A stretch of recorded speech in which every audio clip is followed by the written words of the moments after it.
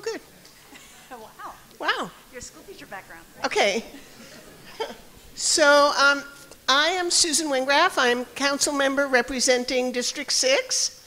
And uh, that. thank you, thank you. District 6 is um, the east side of Spruce, all the way up to Tilden, and the north side of Hearst, all the way up to um, the, the reservoir and close to Kensington. It's a very large geographic um, area, and it is in the very high hazard fire zone. Um, with me tonight, co-hosting this event tonight, is Councilmember Droste, uh, who represents District 8. The District 8 got the brunt of the 1991 wildfire, unfortunately. Um, and also with us tonight is Council Member Sophie Hahn, representing District 5. So I want to tell you a little bit um, about uh, how the evening's going to go. I want to thank you all for attending. And um, I want to give a shout out to my assistant, Lori McWater, who is actually pouring water right now. There's Lori over there. She really managed this whole event. And Sophie, do you want to thank your? people? Yes, Brandon Norris from my office, who has helped her, and they've, they've been here running around putting the chairs together and all these signs up and things. So thank you to both of them. Yes. Thank you. And my legislative aide, Carrie Bernbach, in the back there. Thank you very much. Okay, so what we're going to do tonight is uh, we have multiple presentations.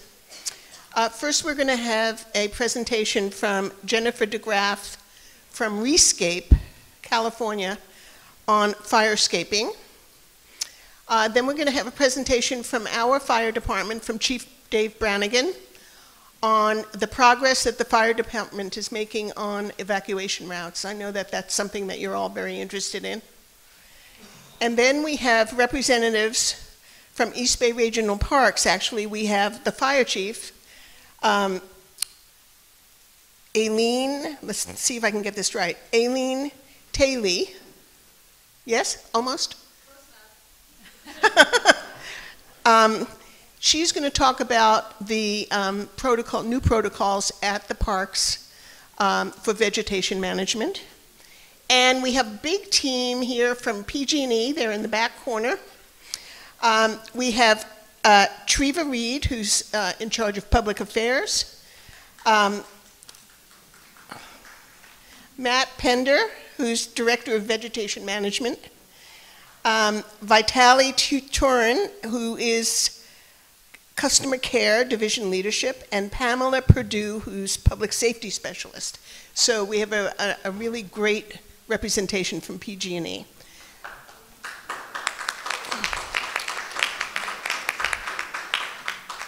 On your seat, there were a couple of things for you to read and do. There were question cards and pencils, and we will be collecting those throughout the evening. We're asking you to check off the box of your topic so that we can sort everything out, uh, and that way we will have a smoother question and answer period. There's a wildfire evacuation questionnaire, which the fire department would very much appreciate your filling out and returning. And there's a, a box on the table over there for you to return them. Um, there's a household evacuation plan document to plan for you and your family.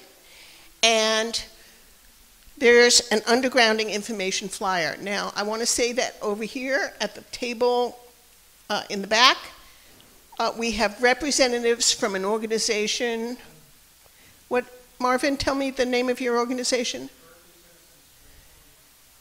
Okay, and you can sign up over there to become part of their mailing list.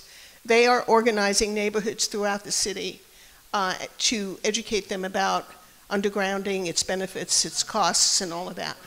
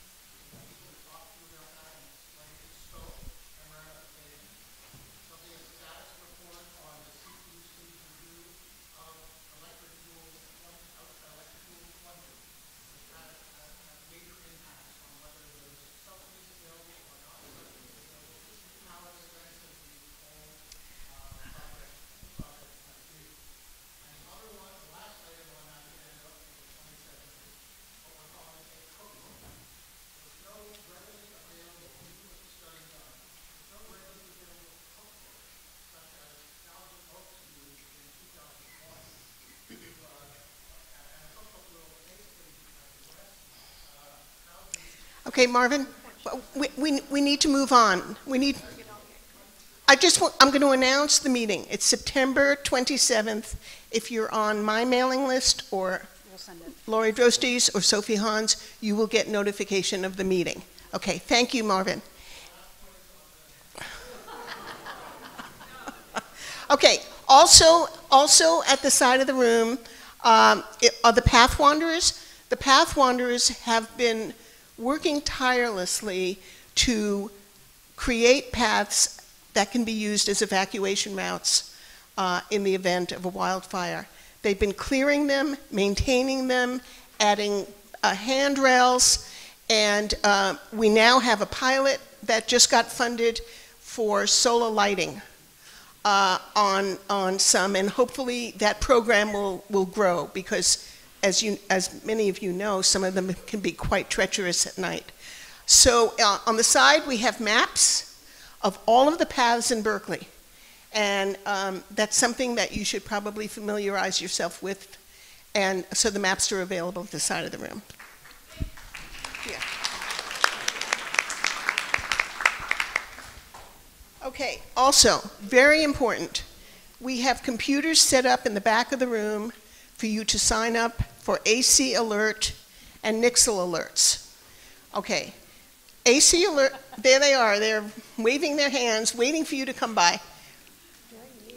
Uh, yes, even during the meeting, just get up and go over there and sign up. Um, this is the alert system. AC Alert is the alert system in the county that will alert you of any um, disaster. And if you need to evacuate, AC Alert will alert you. You can get it on your computer, you can get it on your phone, you can get it on your landline. I get them on all three. And um, it's, it's really important that you get hooked into that. Nixle, uh, the Nixle alert is more specific to crime, um, and I, I urge you to, um, to sign up for that as well. Alameda County. AC is Alameda County. Okay. Now, I just want to say uh, a little bit about some community successes. Um, I've been working very closely with people who are very concerned about fire and public safety uh, in Berkeley for a long time. And we realized that there were a lot of hydrants that were covered with vegetation, that were um, inaccessible. People were parking in front of them, um, paying no attention to them. And so um, we did this little community thing saying, hey, if you're out walking your dog or just walking and you see a hydrant that needs some attention, please let us know. And also, you know, those blue reflective markers in the street? Those blue markers tell the fire department where the hydrants are. And so at night, even in the fog, or if there are very smoky conditions, they will be able to locate the hydrants. So people started sending in this, you know, take a photograph with your phone and look at this hydrant. It's completely obscured by vegetation. And this hydrant doesn't have a blue reflector. Well, the Department of Public Works, the director, Phil Harrington, got on it and suddenly the blue reflectors were all installed in the streets. It's wonderful. So as you walk around, I'm going to ask you if you notice that there's a hydrant without a companion blue reflector, please let one of us know, and we will call it into Public Works and have it installed. That can save time. Um, if you see a fire hydrant where there's vegetation obstructing access, please let us know. We're going to depend on you to inform us because there's, there's no way we can, we can see it all. Um, so thank you for all of those who, who um, let us know about the others. Um, and um, the, the whole purpose of tonight is to try to empower you to do something about your property. Um, you know, we, we know that, well, the whole state right now is on fire, frankly, and it's only July. You know, usually we see this kind of activity in September and October. fires, it looks like this is, this is the name of the game. They're going to get worse, uh, and they're going to become more frequent, and um, we're going to lose more structures and more life. Um, and it's time for us to really get serious about taking care of our own property. So um, we invited Jennifer. Jennifer, you ready? Where are you? Okay, great. So we invited Jennifer. Jennifer is an expert on fire safe scaping to come and do a presentation for you. We're hoping that you will get some ideas and go home and rethink your yards um, and help to make us all safer. So thank you.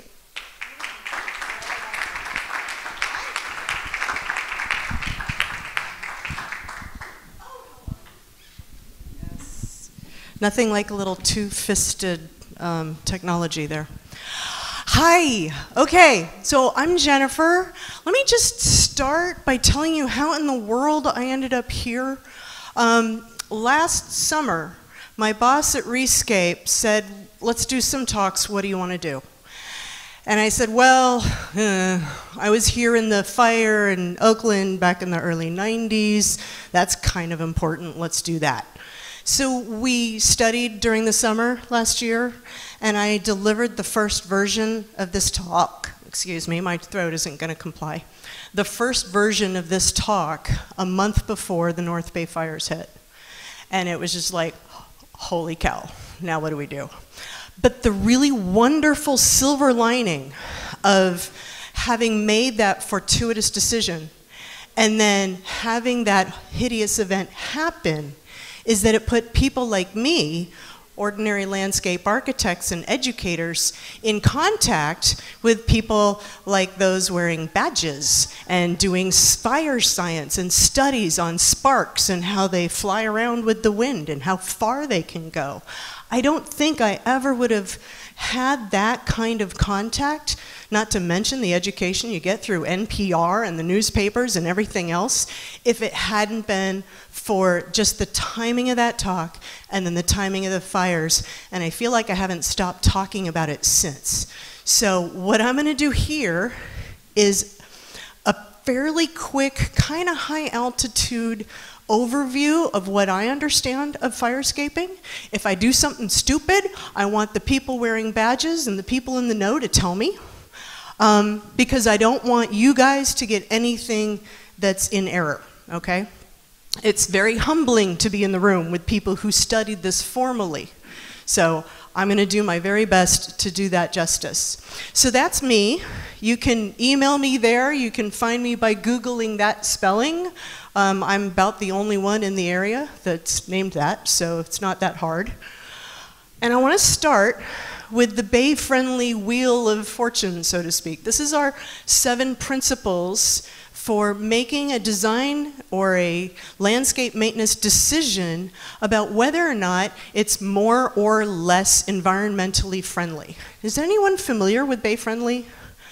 Yeah, awesome. Okay. So I teach that stuff. And those principles are really important for us to understand sustainability as a whole. What I was surprised by, and that's embarrassing now, is that the more I get into the firescaping world, the fire and landscaping put together kind of universe, the more it goes back to the Bay Friendly principles. And that's, that's so cool, but I can't believe I thought it was unexpected. So I won't go into that because I only have a few, like about a minute, maybe less for every slide. We'll see how this goes. So, fire safe is a term I really don't like. I don't think fire is safe. It's not meant to be safe. It wasn't designed to be safe. And I don't think anyone should ever think, I'm just safe. I'm good. It's like calling it deer proof. And those of us in this area know there ain't nothing that's deer proof except maybe daffodils. And that depends on their mood. Um, so, we've got this wonderful Mediterranean climate. We have this really long growing season. We can grow all kinds of stuff from all over the world all year round. And then we get just enough water to keep it going, and then we give it water to keep it going. So we kind of have the perfect conditions for growing a lot of fuel. And fuel is just really anything out there that will burn, which is pretty much everything. And so obviously, I know this is in the news a lot with climate change and global warming and all that stuff. The cycles of our weather, the cycles of our fire, the cycles of our drought are getting more intense, more crazy, and more unexpected. And now I live just south of y'all in Oakland in a high severity fire zone. And my notices, the notifications in the mail say there is no fire season. So I keep hearing that term. I know it's sometimes dry in the winter, and it there's nothing there about it being December that fire goes, oh, sorry, wrong calendar year, you're one month. So that's, that's something we got to be aware of all the time. And as I go through the rest of these, I want you to think about where you live and how do you see in your own home and garden, or if you're thinking about another structure, an office maybe, um, I want you to think about how do you get off that property where are the higher risks coming to that location? And not only how do you get off of that property, but what are your ways out? And I want to say, my thinking in doing these talks has really revolutionized the way I look at my own yard. I moved into this house maybe five years ago, and I thought, yay, it's a yard, it's great, it's whatever. There's like no way to get out. there's, there's fence all the way around. And if I was to leave my property, if I get off my property in the event of a fire, the best way out of the neighborhood is towards the higher risks where I am. Because it would be going towards the freeway and it would be going downhill. And there's only one route out. If I take the other route, I'm going uphill. I'm going the same direction as the fire, and I may just have my heels being chased by it on my way to I don't even know where else, because everywhere else there's just more fuel up, uphill from me. So think about where you are as we go through this. Okay, first, before you go doing anything crazy, check your local ordinances wherever you are. Find out who's in charge of permitting processes, uh, drawing review, whatever it is, get educated by those in your area because it's their rules that count, not something in a book or an article or whatever. Make sure you go local. Know if you're, you know, at the Berkeley City Berkeley Fire Department. I'm assuming everyone in this room is, so I mentioned those. But if you happen to be here from someplace else, make sure you know who you need to talk to to make any changes. And then this is what I want for me, right? I don't know where this photo came from. I haven't been able to identify it. Um, but I want my happy little home to be out in the middle and the one thing that's untouched. Um, but I, as much as we love to look at this photo, and there are not very many photos like this, um, it's, it's, it gives that idea that your landscaping can fix it, can somehow magically correct a fire, and a fire will just go, oh, sorry, you did your firescaping right, and I'll just go on my merry way someplace else. Fire doesn't respect this. This is some kind of weird honking fluke I don't know how this happened. Maybe someone was there to defend it. Maybe the winds changed. Maybe it ran out of fuel. I couldn't tell you because that's not my job. But I do want to make you aware that this is what everybody wants. And the fires that we get, they don't always respect this like a photo might, might give you the sense that it could. Does that make sense? It's a terrible sentence. Okay. So, one thing I want you to know firescaping isn't a style. We're not trying to take away your creative expression in the landscape. We're not trying to make you do things that are formal or asymmetrical or Chinese or Italian or anything like that. In fact, you'll be surprised um, in a few slides how little correlation there is with certain kinds of plants versus their risk for quick ignition or long burning.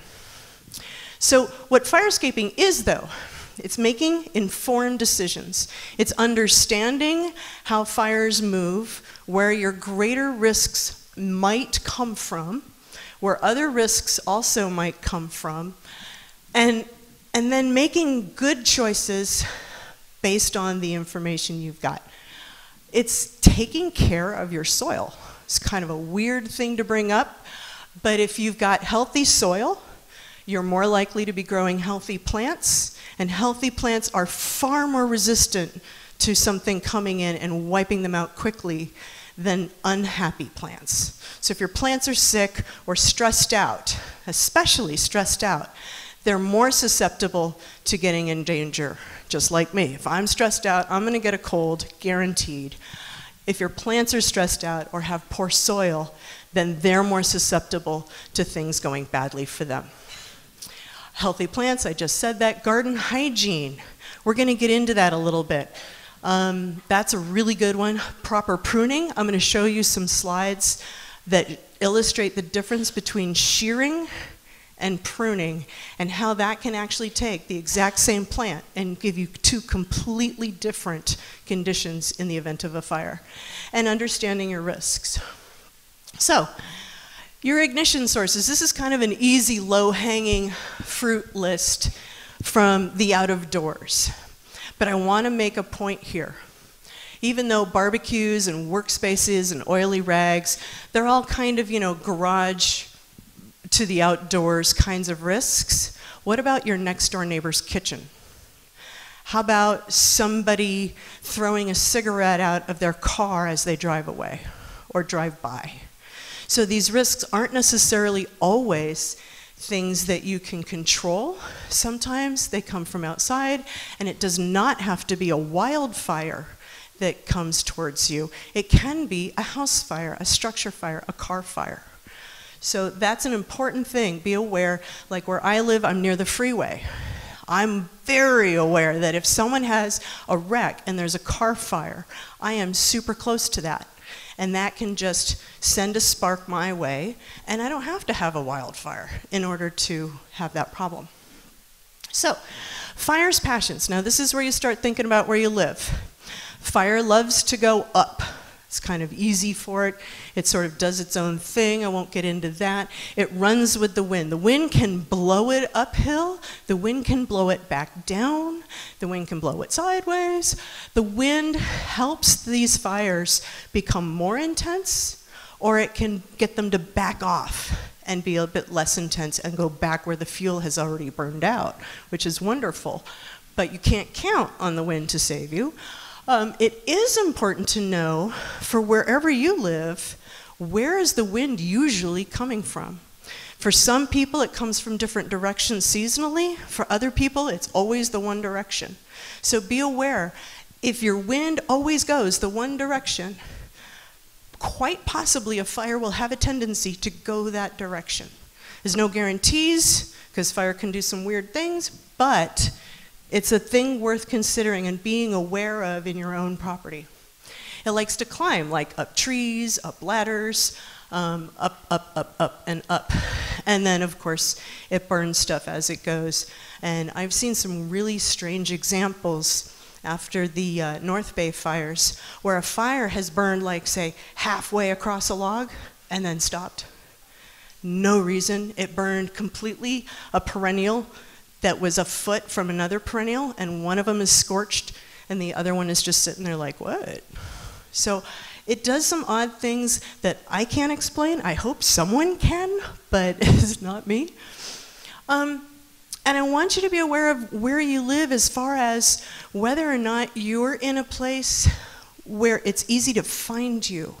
Sometimes these beautiful, quintessential little more uh, Rural roads can be absolutely idyllic for a hundred years. You have a fire come through, and nobody wants to drive down that. If it's if it's burning, you've got trees overhanging the driveway and a bunch of brush at the edges. It can possibly be too dangerous to go down there in the event someone or a structure is at the end of a long and winding road. Now, down here in Berkeley, we don't have this condition too often. It's much more urban. Um, very heavily treed, though, so be aware of, of whether or not you have a potential to be a trap, and if you've got a way out that can circumvent that. So, um, firefighters, it, it's a job I have mad respect for because they sometimes have to make really difficult decisions about what they can safely defend and what they can't safely defend. And those decisions, uh, it's not something that I would want to have to make. It, I just don't think I could. So there's a bunch of different approaches, and I'm going to walk you through two or three. One approach is saying, you know, because everybody wants the quick mantra reduce, reuse, replace. It's kind of like the recycling thing. Um, but check this out it's all about fuel, it's all about redu- removing things that are dead, removing de- dead plants, reducing the fuel load. So, pruning and mowing, we're, we're trying to remove excess dead wood or keep the lawn from getting too tall, and you'll see some great examples of that in a minute. Replacing fire magnets, like the city of San Rafael is offering incentives to remove juniper and bamboo. So that's huge. A lot of people love bamboo because it's so pretty and it's such a wonderful screen for outdoors. Um, but it is a, also a fabulous big butterfly net to catch sparks. And sparks, in my understanding, are one of the quickest, fastest, most common ways that a fire spreads from one location to the other. It's not just going to belly crawl along the ground, it's also going to throw those little sparks out and start fires in other places. So, keeping those fire magnets like juniper and bamboo away from your home is a good tactic. Stressed plants, obviously, we already talked about that, and irrigation when we have a drought, just turning off the water can create a lot of dead wood. It can create a lot of fine fuels and, and dead branches and stuff like that. And we don't want to just shut it off and stress everybody out. So, proper irrigation is important. I'll spend some detailed time on that in a moment. So, there's the zone thing, right? Everybody heard the defensible zone thing. This is a different approach. This is, is kind of borrowed from a few different places. This was one person's approach, is just work at your fuel. Another approach started in the 50s or 60s, and it's the zone model. And I'm going to show you two zones that are kind of sort of the same thing, but they have a, a one is much more fine grained. These are from a book called Firescaping by Doug Kent, and the other one is from a, an organization called IBHS. And those guys study sparks and study structures and all this stuff out at this really weird lab in North Carolina. It's a huge warehouse where they build little, like full scale fake houses and they blow sparks at it and see what happens. So, the idea, obviously, is that closer to the house, you want to bring it down, slow it down, help the fire get less intense and shorter the closer it gets to something precious like your home or another structure. And so, in the typical zone one, that goes from your walls out to 30 feet. And in there, the primary goal is to make it possible for people to get out and firefighters to get in. And the best way we can do that is keep paths clear, have access routes, have visibility, um, and these tall wood fences are uh, not so great. So if you take a look at this, we have a narrow side yard. I don't know whose side yard this is, but we have a narrow side yard, and we're for thinking from a fuel perspective. That tall wood fence right there is all kinds of firewood just waiting. It is just waiting, and it's nice and solid, so a spark can't escape through it. It's probably there for privacy. My suggestion would be consider taking your privacy inside, curtains and window treatments, rather than relying on a lot of fuel right outside the house to do it for you. And also, whoever this is planted a tree smack in the middle of the side yard. Now, as that tree grows, it's a spark catcher right next to the house. Um, it's in the way of people getting in and out. And as it grows, it's just going to get bigger and, yes, more pretty. but it's going to become a greater and greater problem from a firescaping perspective. So I want to encourage people to think about how do you slow a fire, make it help it get shorter the closer it gets to anything precious, and selecting low flammability plants. So we're going to get into the plants in a minute. We want to use building materials that are resistant. There's building code that can help you with that.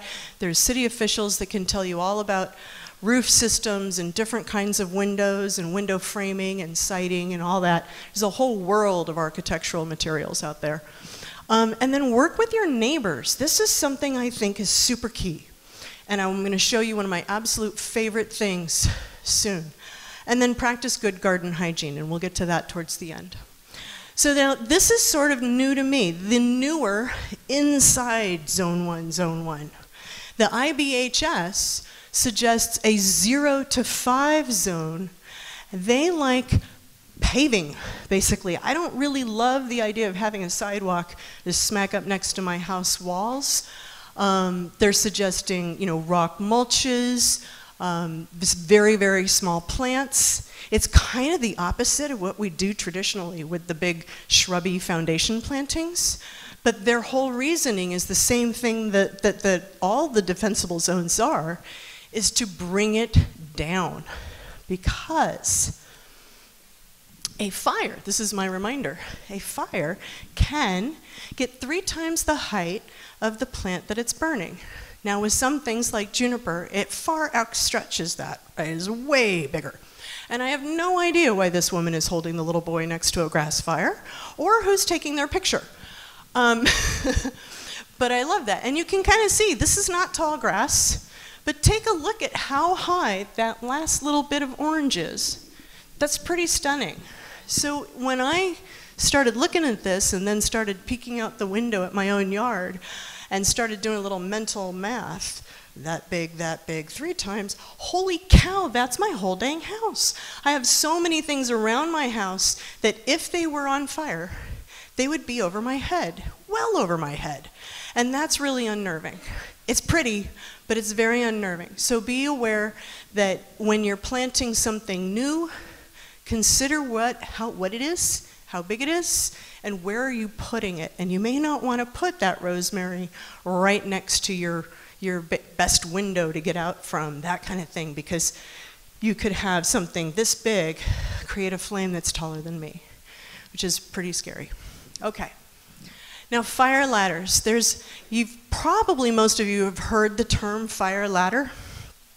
And um, there's lots and lots of diagrams but I want to point to a few things here. So we've got this low grass, whatever this is. It's not very clear photo, but it's the best example I've got. Then we've got little, little fingers or whatever of flame. I don't know what this shrub was, but it's toast, right? And as this fire comes through, it's done here. Dinner's over. Now it's going to keep going, keep going. You see that pine tree on the other side? And it's got those weird little dead fingery twigs that stick out at the bottom, as they seem to all have. Those are probably no longer living. Even if they were living, they're very, very low to the ground. And these flames can come over here, and even if that fire is going quickly and burns right past that pine tree, and it could, if it's going slowly enough and it hits one of those twigs, it can get on that little twig. Now it can climb up the trunk and it can get to more and more and more fuel. And then it's up in a pine tree.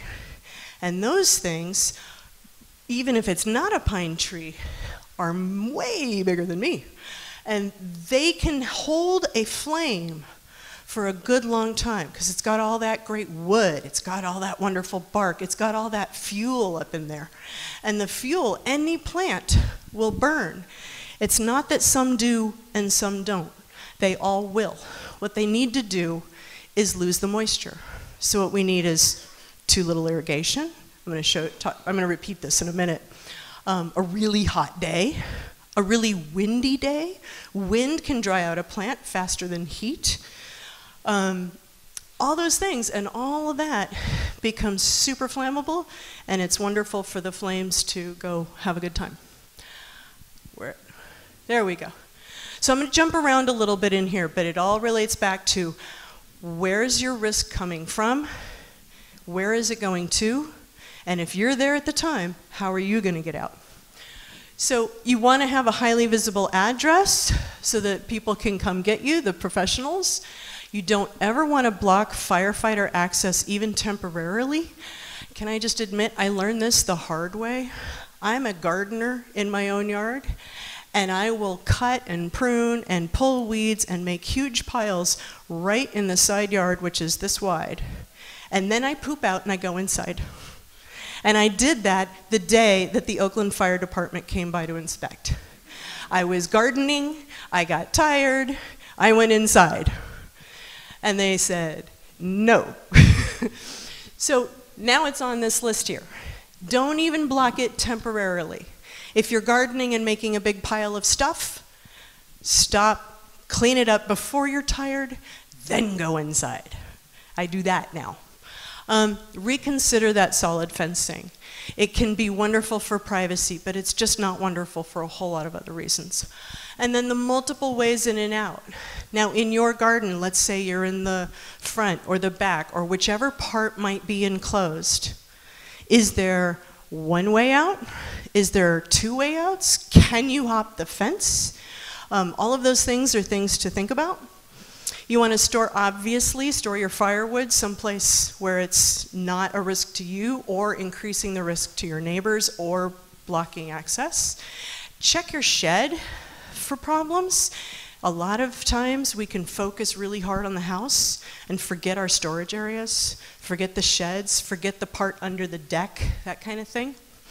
And then rethink um, what, what I call is like physical planty barriers, like this agave. If someone's in the front yard of this house, they got to go over blue agave to get out. And I hadn't seen another example until I was driving over here tonight on the drive up. I saw another house that had the same condition, where they've let these spiky, spiky blue agaves take over the front yard. So there's really no good way out unless you can use this little tiny path. And that to me just seems like a really bad idea. Okay, so fences with a capital E. Um, we want to use fences that are not so combustible. So the solid wood fencing, maybe not so much. Maybe something with some holes that a spark could go through, and we might have the chance that it dies out before it hits something flammable, before it hits something it can ignite. We want to give critters a way out. Now, granted, not everyone's dog needs an easy way out, but there may be someone who doesn't have an escape artist, and you could have something where if you get out, you could go, you know, open a little doggy door, let Fido back out, or whatever. It's just worth considering having multiple ways for people and pets. Using thicker posts and heavier pieces of wood in your outdoor uh, decks and fences and things, I've read, now I want to be corrected, I've read that a thicker post is harder to ignite by a spark than a thinner post. It's the same material to me, but I read it, so I wrote it, okay? Um, and gates. This is one of my absolute favorite things. Gates are all well and good, but what about a gate between your property and your neighbor's property? We always put that gate from the back to the front, but what about between properties? How about we work with our neighbors and give ourselves a way out? If the front, if the side yards are blocked, maybe we can go through the backyards. So, that's one of my favorite ideas. Um, you want to, like, I think I've already mentioned this. Evaluate the ways that you could get off your property if you heard about a fire and how many different routes do you have out. Then think about your evacuation plan or what routes you could take to get someplace safer and then collaborate with your neighbors to reduce each other's risks. Don't plant trees that are going to overhang your neighbor's eave. They don't have control over your trees, and you don't have control over theirs. But we could be working together to minimize each other's risks, and frankly, I think that's the better plan. Take your privacy inside, like I said, rather than relying on things like bamboo, rely on things like curtains. They're indoors and they're not out there catching sparks. And then share what you learn.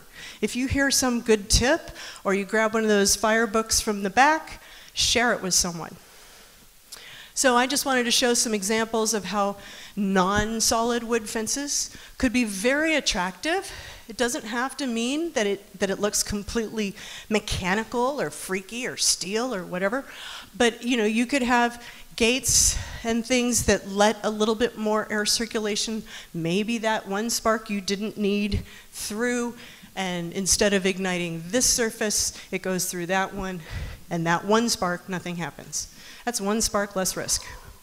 Um, might not be that, that interesting when you have a whole mess of them coming at you, but I like every little bit I can get. And then avoid obvious conflicts, like keeping your barbecue under your eave, or having um, barbecues near flammable materials, or keeping trees from overhanging your building, um, and storing things under decks, which we're going to see now. So skirt or screen, this doesn't make a lot of sense until we see the next few photos, but we want to make sure that the undersides of decks, which are very often overhanging a slope, right? And if a fire wants to come up a hill and you have a deck overhanging a slope, let's say it's coming towards me from you guys, then I've got a wonderful place for the sparks to blow up and hit something that they could ignite. So we want to minimize that. And I'm going to show you a couple of kind of weird ways to do that, like stuccoing the underside of your deck. What a weird idea. But if it hits stucco, it, a little spark can't catch stucco on fire as easily as it can old decking or old wood. So that makes a lot of sense. But you know, just saying, hey, you need to stucco the underside of your deck doesn't.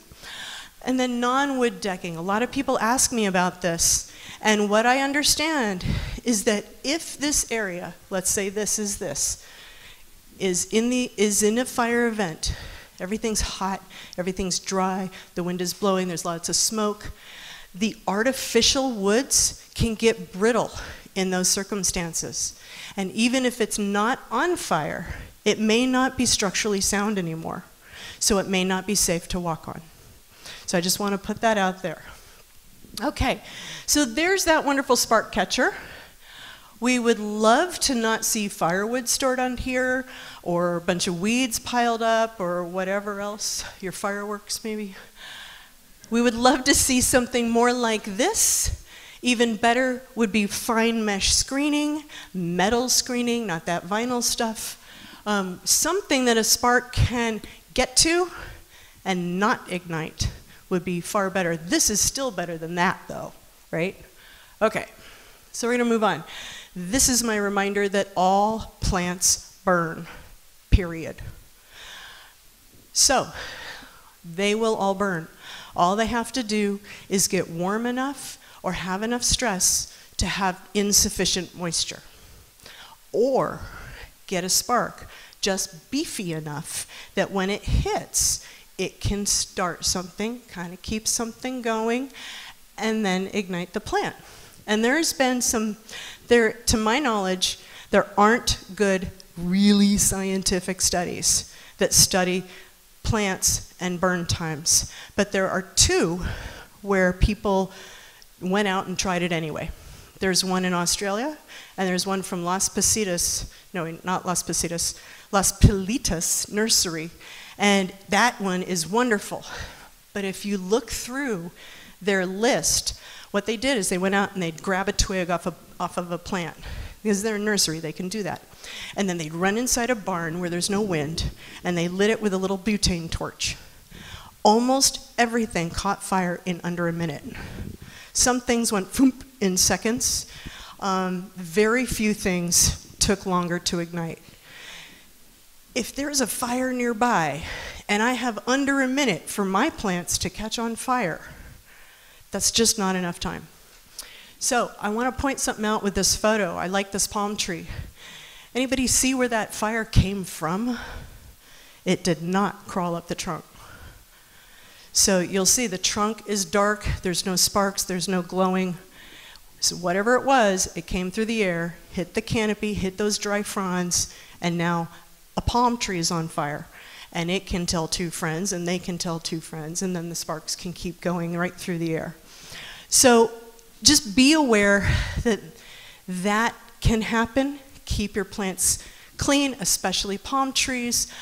Denser fuels, like these fronds, they're pretty, if you ever hold a frond, they're actually kind of surprisingly meaty and, st- and stiff and sturdy. And they can hang on to a flame, but they also have those leafy parts that are super dry and brittle, and those will ignite really quickly. And so keeping these palm trees clean would be really, really huge. Um, plants with finer fuels, smaller leaves, that kind of thing, they'll ignite faster. But there's less to chew on once a fire's there, so they may burn out more quickly. And then plants with more surface area, like lots and lots of leaves or lots and lots of dense undergrowth, have a lot more surface area to just catch a spark, hang on to it for a minute, and let that fire get from place to place. Okay, so I'm going to make some really generalizations. It's something I hate. I don't like making generalizations, but I want you guys to kind of take a look at this. It's generally understood that non resinous plants are less, or wait, sorry, more flammable than resinous. Wait, I have that backwards. I had it right the first time. Non resinous plants are more watery sap less gummy, less sticky, less waxy. Those gums and stickiness and waxes are like wonderful fuel, okay? So if you have a deciduous tree like an apple tree versus an evergreen like a pine tree, you're looking at something with a lot of sap, a lot of gum, a lot of the gunk. And the other one, maybe you pull off a leaf, it's just kind of wet. Theoretically, the apple is less flammable than the pine but it depends on how it's being grown and the conditions, and I'll get to that. Thick leaves, less flammable than thin leaves. That's more about how much moisture might be held in the leaf. A thin leaf will have less and can dry out faster. Slower growing, slower growing plants tend to be denser. Now, it's a generalization, it's not perfect. So, if it's denser, it may take longer to ignite, but it may hold a flame longer once it does. Does that make sense for everybody? Groovy. Fewer branches and fewer leaves, obviously less surface area, and then less leaf litter. If you have a plant or tree that just drops everything once a year and you end up with a huge buildup, that's a fire hazard. I love leaf litter, it's a healthy thing, but too much leaf litter is a problem. And then Open branching habit, we're going to see an example of that. Watery sap is less flammable than thick, things with thick and gummy sap. Fragrance free foliage, what would that be about? Oils in the plant are what make it fragrant. And oil will be more flammable than something that is not uh, fragrant and is more just watery and whatever. Okay, and hairless versus Hairless and, and non fuzzy, I love the Stachys byzantina. They've got those little fuzzy leaves. When a spark comes by, it hits those little hairs and it can stick better than just sort of not sticking. Does that make sense for everyone? It's got that super fine fuel right down there and it can just kind of keep going. Okay, so we're going to talk about water and I'm running out of time.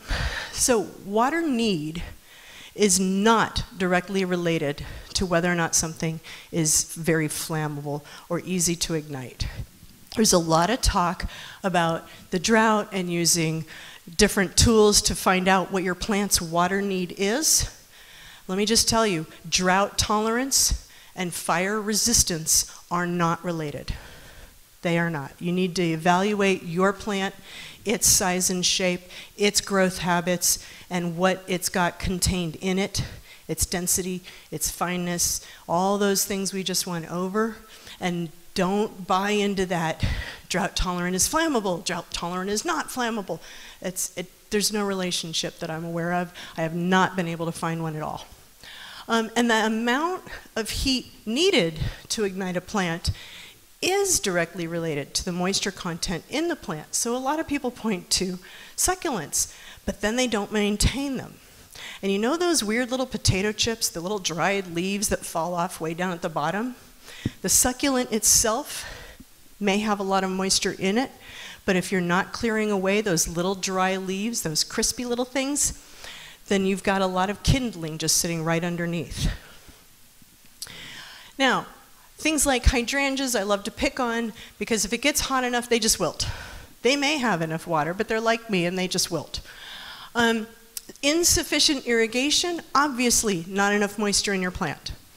Too much irrigation can have the exact same effect, and the plants can wilt because they can't take it up because their root systems are drowning.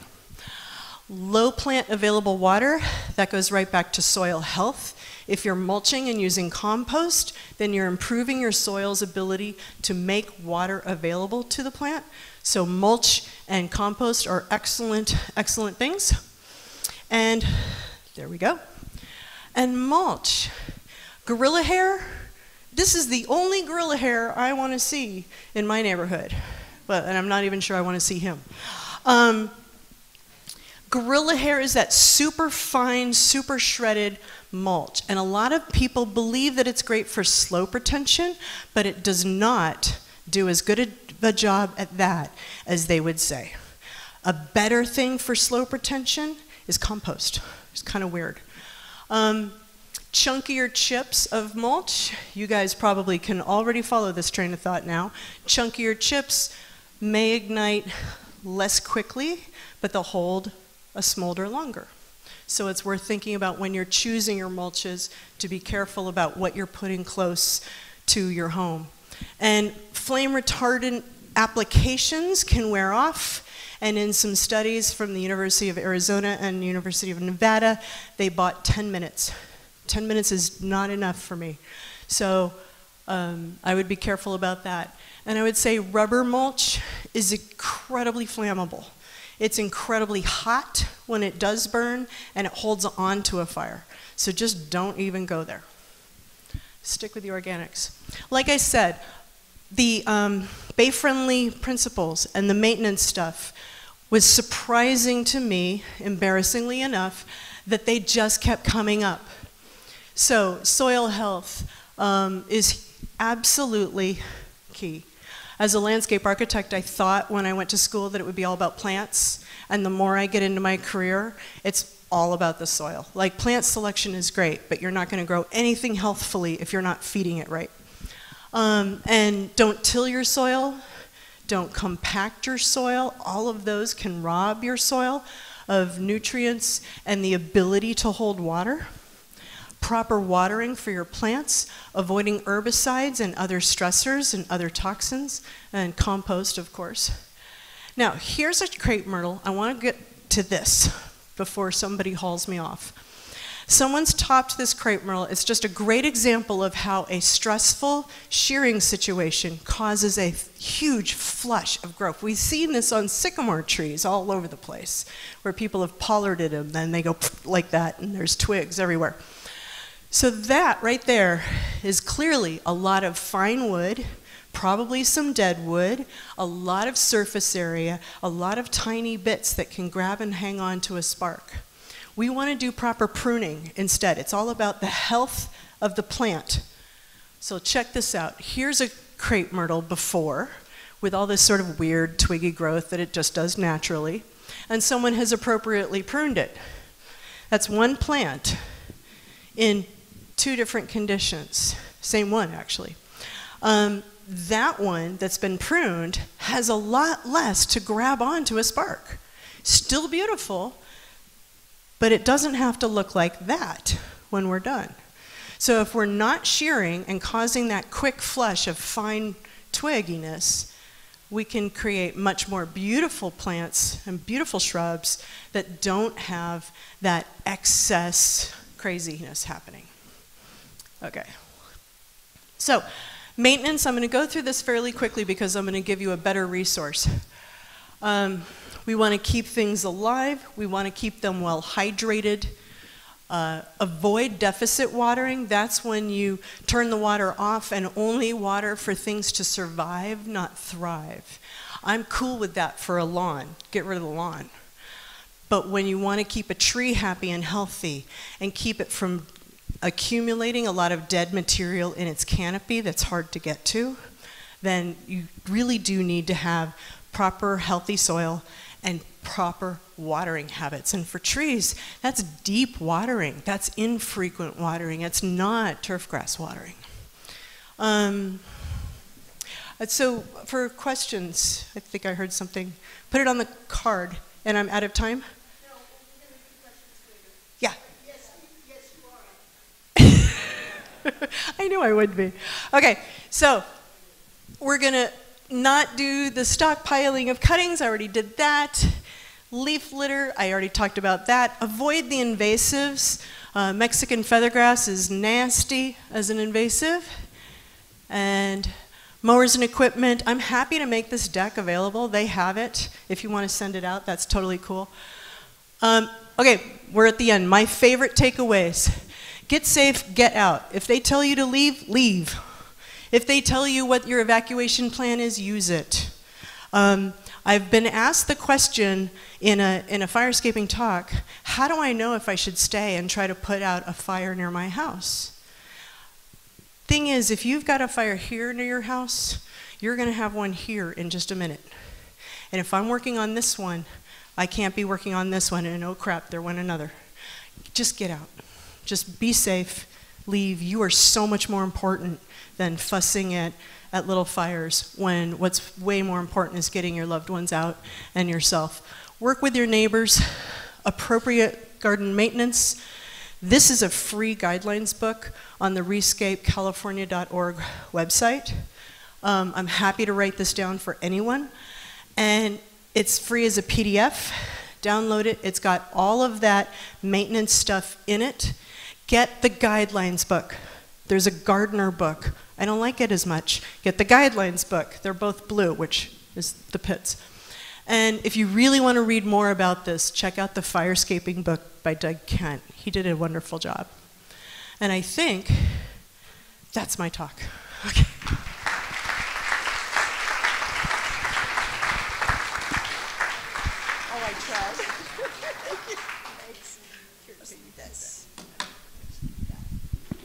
Well, thank you, Jennifer. That was a, a tr tremendous presentation, a lot of information.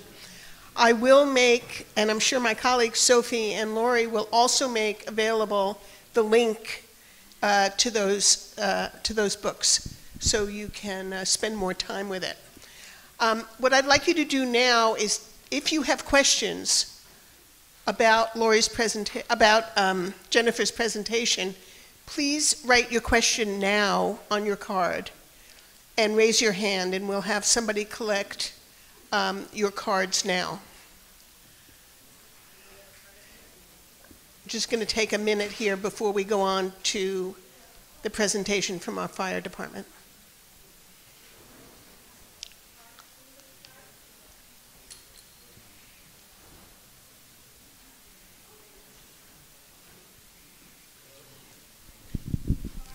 Okay, looks good. Now I'd like to introduce Chief Dave Brannigan. He's the fire chief of the city of Berkeley. Um, yes, thank you.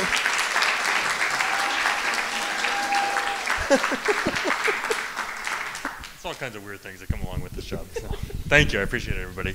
Uh, I just want to start, let me just say, um, while I did not preview the content of the, her presentation, that was unbelievable. Like, you don't know what a gem of truth you were just delivered. Uh, so much of that was is going to actually be repeated in what I have to say, um, but so much of it is information I didn't even have. And if you look at my yard, I need to do some reading and we'll talk. Um, but I don't live in the hills, so it's a little different story. Um, so welcome. The other thing I want to do is, is thank the council members, uh, we have some members of the Disaster Fire Safety Commission. Forgive me if there are other commissions represented.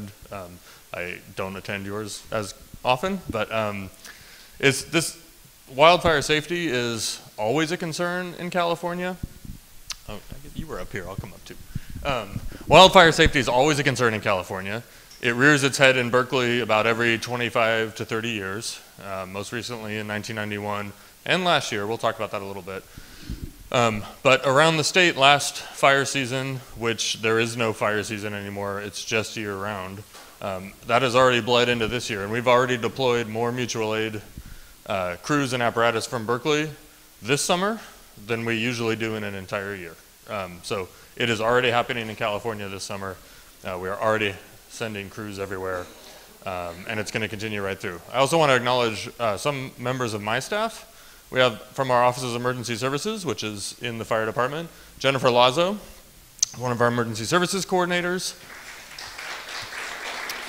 She is uh, involved in assisting with the evacuation planning that we're doing right now. She also does outreach um, to vulnerable populations and to every population in Berkeley for community preparedness, uh, training, CERT, Berkeley Ready, things like that. And she's also our social media guru, so I'm sure there are some tweets going out as we speak. Um, and then also from our office is Sarah Lana. She's also an emergency services coordinator, also helping out with signing up for AC Alert back there tonight. Sarah is um, really the city's one primary emergency planner. So she writes, she wrote our emergency operations plan, not in a vacuum. She coordinated the writing of it, uh, which was adopted by council last year for our first ever adopted emergency operations plan. She is also the principal author and coordinator of what will become the evacuation annex and wildfire uh, appendix to that plan. So we're working on that right now. We're going to talk about that a little bit tonight. Um, but the, the quality and breadth and depth of the writing and the planning that we get out of Sarah and then Jennifer and Khin Chin helping them out is really tremendous. So you're lucky to have such a great staff in a city this size. Now, the last presentation was very interactive, had beautiful pictures, um, really nothing to do other than look and be in awe of the great information. Mine is totally boring, so now is your nap. I'm just kidding, don't fall asleep. Uh, but it's got, it's got some information. We, we handed out two flyers with this. One, a questionnaire that we would like you to return, and we're going to talk about that a little bit. One is an informational flyer and a plan for you to work on and take home with you. So we'll get into that a little bit. So let's talk about what happens from the fire department's perspective in wildfire, uh, and specifically in, in urban interface wildfire like we had in 1991, like we almost had last October, the night of the North Bay fires. We delayed sending crews to go assist there because we had our own fire um, just behind Ajax uh, in the park, in East Bay Parks. Um, and so we had to make sure that was out and was not going to spread before uh, we sent anybody to assist. So let's picture the 1923 Berkeley Hills fire. This spread from about the point of uh, Lake Anza. It blew across Wildcat Canyon and Grizzly Peak and got down to Shattuck Avenue. Okay? Uh, that was wind driven like the last speaker said, wind blows it. Fire likes to go uphill, but when we get the Diablo winds going from east to west, they're hot, they're dry, fire blew down the hill, blew down the hill rapidly. Picture that in today's landscape of Berkeley, and probably most of your houses are in that path. Uh, many other people's homes are in that path. UC Berkeley is in that path. Uh, it, it would be bad. and then imagine your fire department, Berkeley Fire, has seven fire engines. One house fire takes four fire engines, a truck, an ambulance, and a battalion chief to put out that one house fire. If we go to a second alarm, every apparatus except for two ambulances are used on that fire in the entire city. So a second alarm fire, that could be a large two-story house, that could be an apartment building, could be a duplex, it could be two houses side by side. Um, so that's, that's what it takes. Now picture that fire blowing down from Lake Anza to Shattuck and imagine what we're going to be doing. And let's, um, let, I'm going to ask you, what are we going to be doing in that case? Are we going to put, I'm going to use, I'm to use the rhyme. Are we going to put the wet stuff on the red stuff? No, actually we're not. What are we going to be doing? Right from the, council. well, we're not going to be running you're going to be running. Uh, and like Councilmember Wengraf just said, you're going to be evacuating, and we're going to be telling you to evacuate. And that's about all we're going to be able to do in the beginning of it. Um, another interactive question Who's taken a shower? Has anyone here ever taken a shower? Okay, well, you're one up on me. No, I'm kidding. Um, The fire last year, the Tubbs fire spread from Napa to Santa Rosa in under an hour. Winds approximately 70 to 75 miles an hour were blowing embers three to four miles ahead of the fire front. So picture that, three or four miles. If you're at Grizzly Peak and we have a wind blowing to the west and it's blowing embers three or four miles, where is that? Right. Sacramento Street's gone, San Pablo Avenue's gone. Coffey Park was four or five miles. That's the neighborhood that burned to the ground, gone, everything, moonscape. It was four miles from the fire front. It jumped that far. People described the embers that were doing that, that fire spread like being in a shower of sparks. So picture you, you picture you're, you know, in the shower, you wash your hair, you turn around, and it's sparks blowing instead of water. They described that miles ahead of the fire front. And then when you think about the last speaker and what you want it to look like under your deck, and what you want your um, trees, do you want pine needles on your roof? Do you want your yard cleaned out of all the duff that might have fallen? Do you want flammable plants? I think. Well, you tell me, yes or no? no, you don't want those things, right? Because a shower of sparks will light that stuff on fire. And I know that might sound unnerving, and it's a little bit supposed to. We try in emergency management not to present doom and gloom circumstances, but it is a stark reality. It is what happened in Santa Rosa. Uh, it is what happened in the 1991 tunnel fire in Oakland and Berkeley. It's what happened in 1923, and it will happen again in Berkeley someday. So that is why we are going to be evacuating, and you need to be prepared to evacuate. Um, I think it's self explanatory in that situation that fire spread's unpredictable. One of the things we're going to ask you to do is to know at least two routes out of your property and out of the hillside, whether it's to the east or the west or the north or the south. Know where you live, know ways to get out. Um, so, our priority in that case is life safety, right? We want to help you, we want to get you out of there. Uh, we also don't do that very much. The police department does that, uh, CERT groups do that. Um, neighbors do that for each other, all right? Uh, we are going to be setting up wherever we can. We'll be um, in very low visibility. Sparks will be flying. We will see if we can, if we can get there early enough to get ahead of the fire and stop it like we did in October last year behind Ajax Place. Um, if we cannot, like in 1991, we will be working with the police to identify areas that need to be evacuated up to four miles ahead of the fire. Not always, but sometimes we're, we're prepared to do that. Um, we will make joint decisions about how to do that and how we're going to notify people. We have a lot of that in works in the works now, so we don't have to think about it at the time. And that's the whole point of this evacuation plan that Sarah is leading the charge on developing. Uh, but ultimately, it's going to be the police department, some fire crews, um, neighbors helping neighbors. It will be a matter of getting out before it's too late. So, when I ask you to figure out a couple different ways out of your home, out of your yards, out of your neighborhoods, some of you will only have one way in and one way out if you're thinking about driving. Uh, the Path Wanderers are here right now.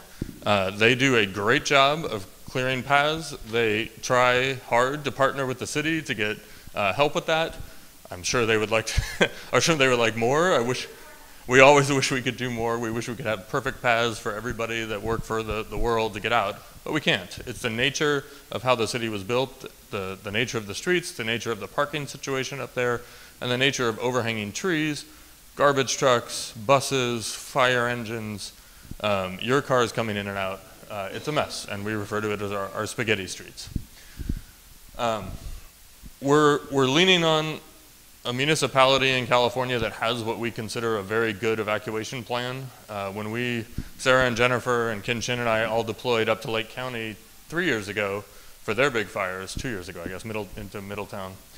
And uh, Cal OES showed up and said, hey, we have a great plan that you guys should be considering. We're, we're there to assist Lake County in their efforts. Um, and we said, great, can we have a copy of that? uh, and we brought it home, and now we're adapting that, that model.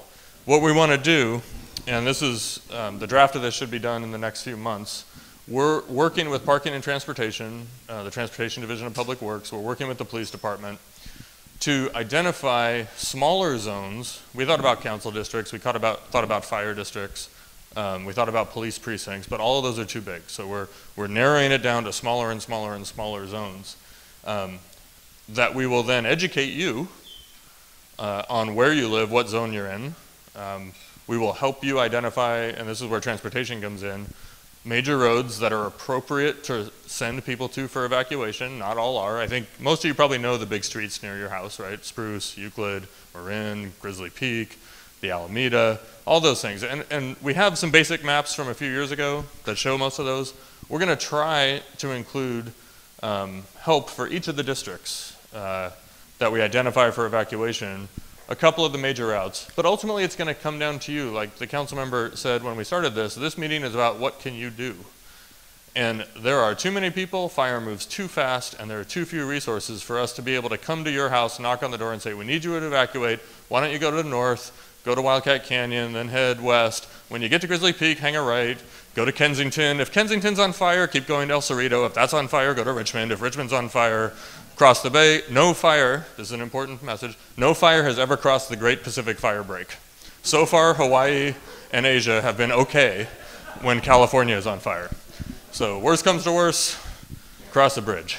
Um, and I joke, but we're not going to have time to even tell you that. We're going to say, get out, and you're going to have to, you guys are here, which means you're going to do this, and you're going to have to encourage your neighbors through whatever means to do that. And if not, you may have to knock on their door and tell them, hey, I know you need help. I, maybe I know you didn't plan this because you're at you know, PTA and you've got too much going on.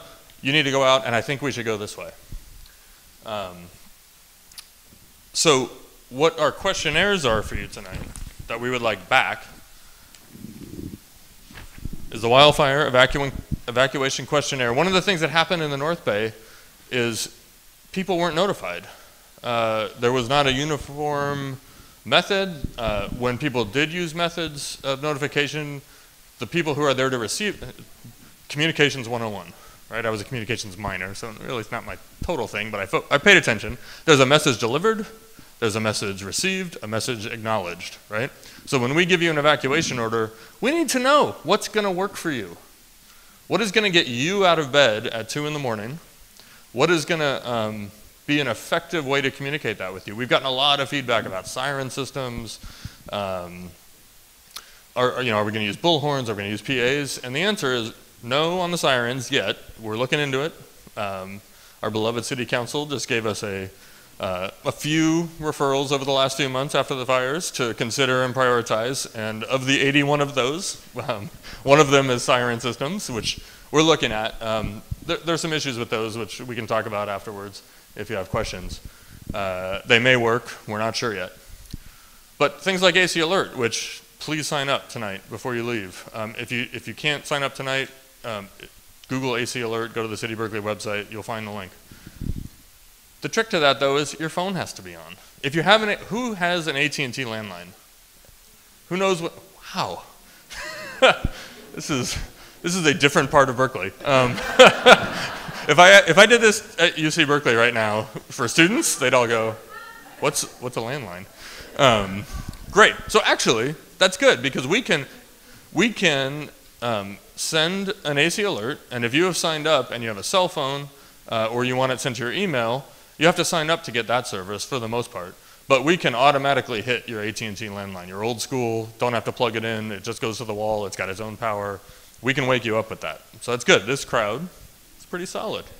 Um, but what we want out of this questionnaire is for you to tell us what will work for you, um, amongst other things on here, because we're not going to, well, we are the experts, but we're not you.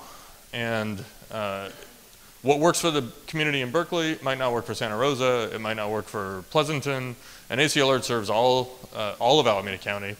We tailor it for our, um, our city. Um, now the zones are being finalized. This is not the final map. I just wanted to give you guys a sample tonight of what we're looking at. So we are looking at an area around Grizzly Peak. Right, so Grizzly is right in here. There's Ajax, Park Hills. Um, it travels here. As you can see, these are response quadrants. So the overlays are a little funny, but this is a response quadrant uh, in here this is a response quadrant here, and they're all labeled with a little number. It turns out to, to do our dispatch system, we have to break up the city into these small little quadrants. And these are just about the right size for what we think we would want to say. This group, let's say, let's say there's a, this, is, this is the uh, Brazil room. Um, so Lake Anza's up here-ish. So if, if the fire is blowing this way, our incident commanders might work with police and say, okay, I need zone 83, 85, 81, 80, 74, 73, 72, 64. We need all those evacuated right now, no questions asked, get them out. We need, and then uh, we could list off all these numbers and say these are on an advisory. Uh, the city way over there would be like, you know, San Pablo Avenue, put them on an advisory, maybe shelter in place, or maybe just leave. So this is, this is the model we're going with. These zones already exist in our dispatch system. The idea would be we could load uh, the perimeters of each one and label them, put them in our emergency alerting system so we could just push a few buttons, everybody in that zone gets a notification. Part of the questionnaire too is, we need to figure out the best way to educate you on where you live. Um, we thought about naming them, and there are about 100 across the whole city. So then we thought, well, we're not going to be able to come up with 100 names, right? It's not going to work. So we're going to leave them as numbers. They're going to be sequential. Um, it may not make intuitive sense to you where you live because you're maybe zone 84. Uh, and the, the borders may be questionable, right? Is, is this uh, 65 and this is 66, so what's this right here? There'll be a little bit of ambiguity. Um, but it's going to be important that we constantly push out the message, constantly train you, that you communicate with new neighbors, that you can communicate with people who come and go in the neighborhood, um, so that if a message comes out, if there's a police officer driving down the street saying, we need you to evacuate, or if you hear, because there are a number of ways you may receive information that it's time to evacuate, um, we want it to be clear that if you know where you live and you know what your number is, if, if we are just hurrying as fast as we can, um, you hear, oh, zone 65, wait a minute. I live in zone 65, I gotta get out of here you're going to go. Um, so that's another thing in the questionnaire. We want feedback from you on how to finalize this plan and, and make our public education uh, plan for, for helping you get through this. Um, so what do we need from you, other than all the stuff I just asked you for? Uh, we need you to evacuate immediately. Um, if you receive instructions, that's great. If you don't receive instructions, and you're like, man, it's a hot windy night. I heard it's a red flag day. Uh, boy, why are all these sirens going by? Oh, there's a funny glow. That's not San Francisco. What's going on? That's coming from the park. The park's dark. Go. if you're not sure, go. And especially if you have any issues that may slow you down, if you have any people in your home or your next door neighbors who have special needs, who will need that extra bit of assistance, please go. Because we can't uh, I, am not going to say we can't. It will be challenging for us to devote resources to people who need extra help. So if you already know you need extra help, make a plan now. Use the other handout we gave you to make that plan. And be prepared if it's possible for you, if it's possible for you, be prepared to evacuate without your car. There are numerous uh, videos and pictures of the 91 Hills fire of people who died because cars were stuck behind each other because they were down behind a power line. Firefighters died because of down power lines. Um, you will be stuck behind them if that happens and you're in your car. Some people, you have to get out in your car. We understand that. Um, but if you have a bicycle, if you can be on foot, if you have a wheelchair and there's a path that's possibly accessible to you, if there's a street that's accessible but you don't want to drive but you can get out that way, get out that way. So when you're planning your evacuation routes from your home, consider paths, consider streets, consider alternate methods of getting out. And while we had the grizzly fire last year, it was my first day of vacation. I had a lovely lunch in San Francisco, and I came out and I looked, and there was a huge plume of smoke coming up from the Berkeley Hills. And I thought, I swear, I'm supposed to be on a plane in a couple hours to go to DC. I took a Lyft from San Francisco back to Berkeley to my office to get my truck because I was on vacation. And that Lyft driver, I told her, I was like, hey, we're going to get, I'm going to just carry like one of those old lights, like, you know, from uh, those old cop shows and just put it on your roof and then you can go and we'll put a little Berkeley fire sticker on you. So um, Lyft and Uber are not going to come get you if the hillside is on fire. I, I wouldn't think. Um, so, so what does your plan need to look like? You need to be ready to receive emergency alerts. And I feel like we've beaten this uh, horse tonight.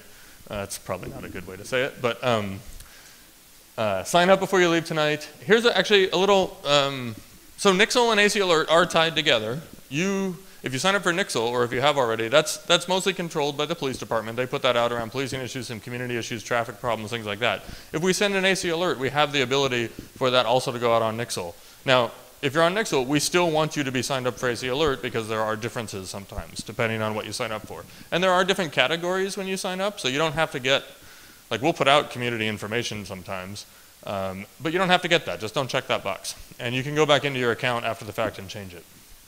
Right now, if you have no other thing to do, and I'm droning on and I don't have any good pictures, and last year I had a cool video, but this year it's just text, um, do this right now. If you text from your cell phone, your zip code to 888-777, uh, you will be signed up for Nixle. Right? You, you can do it right now.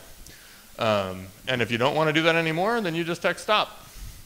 Uh, and you can text stop once you've signed up for AC Alert too. The other thing we want you to do is buy a map, right? we have given you a handout that you can fill out, and that will be your plan. Conveniently, the Path Wanderer is here with maps that include their paths, which should be part of your evacuation planning. So, um, shameless pitch, I'm willing to do it. Uh, Path Wanderers has great maps. I keep one in my car. Um, I live in Oakland, so I do not keep one at my house. Uh, I don't live in the hills in Oakland, um, but that's a great way to do it. And we've, we've talked about uh, finding different ways to evacuate. Okay, so we emphasize a lot in Berkeley uh, emergency planning for pets, emergency planning for children, emergency planning for anybody with access and functional needs. Actually, Jennifer, one of her specialties is that exactly. We hired her and we immediately said, wait, in your interview you told, talked about all these lawsuits that big cities lost around um, providing emergency services to people with access and functional needs. Yeah, make sure we're good on that. and so she did. She, she did a great job and she always reviews all of our plans for for ensuring that we can really provide preparedness and response to, to anybody who needs it in the city. Um, but, you know, neighborhood organizations, groups, being together with your neighbors, talking to each other, that's a great way to get, um, to get prepared as a neighborhood. Um, and then this is, this is a quick walkthrough of the, the plan you have, things to think about, uh, when to evacuate, what to wear. If you're in a shower of sparks and you're getting um, out on foot or on bicycle, maybe you want to have a thicker denim shirt on. Maybe you want to have jeans on. Maybe you want closed-toe shoes. Maybe you want a hat so that your hair doesn't catch on fire, right? It's, your hair is kind of like those fuzzy plants she sewed, right? At least, well, what I have left is. Um, what do you want to bring? Do you have a go bag in your car? Who lives east of here? Who lives, we'll say, let's just say the Alameda, yeah, so a lot of people. So you all live in the areas we're talking about. Have a go bag in your car. You, who, who has taken medicine before? Right? If it's medicine you think you need, or you know you need, that better be in your bag. And this is a, an issue people often have talking to their doctors. I need more of my prescription so I can put it in there. Uh, work on that. Try to get that ready to go. Um, and then when you get your map and you highlight your routes, keep these two things together. Put them on your fridge, put them in your freezer, put them in your go bag, whatever it takes. Keep it together. And if you forget all of this stuff, you can go to the City of Berkeley website on wildfire evacuation. Uh, City of Berkeley, go to fire, there's an emergency, actually there's an emergency preparedness section before you get to fire, which is good, because that's where this is. Um, and again, we want you to turn these in. You can turn them in here if you're paying attention and you didn't want to write during all this stuff. We did actually put our address on the back, so you could just trifold it, tape it, put a stamp on it, and mail it to us, and we'll accept it that way also. Um, and that does it for me. Uh, thank you.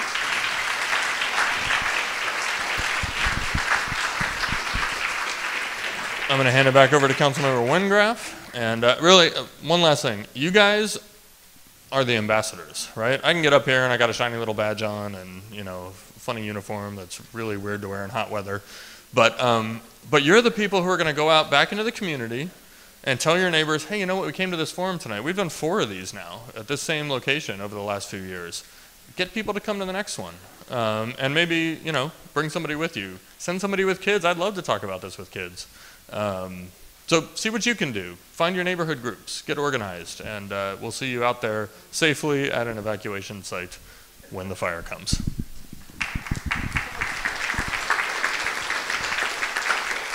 Thank you so much. Thank you, Chief Brannigan. Um, you have questions? Okay, if you have questions, um, we will have our helpers come along and collect them for you.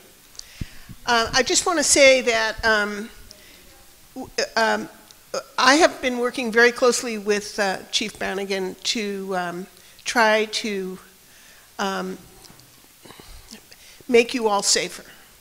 And um, I really, I really appreciate his cooperation and his dedication, um, and I think we're really making some progress. So thank you, Chief Brannigan.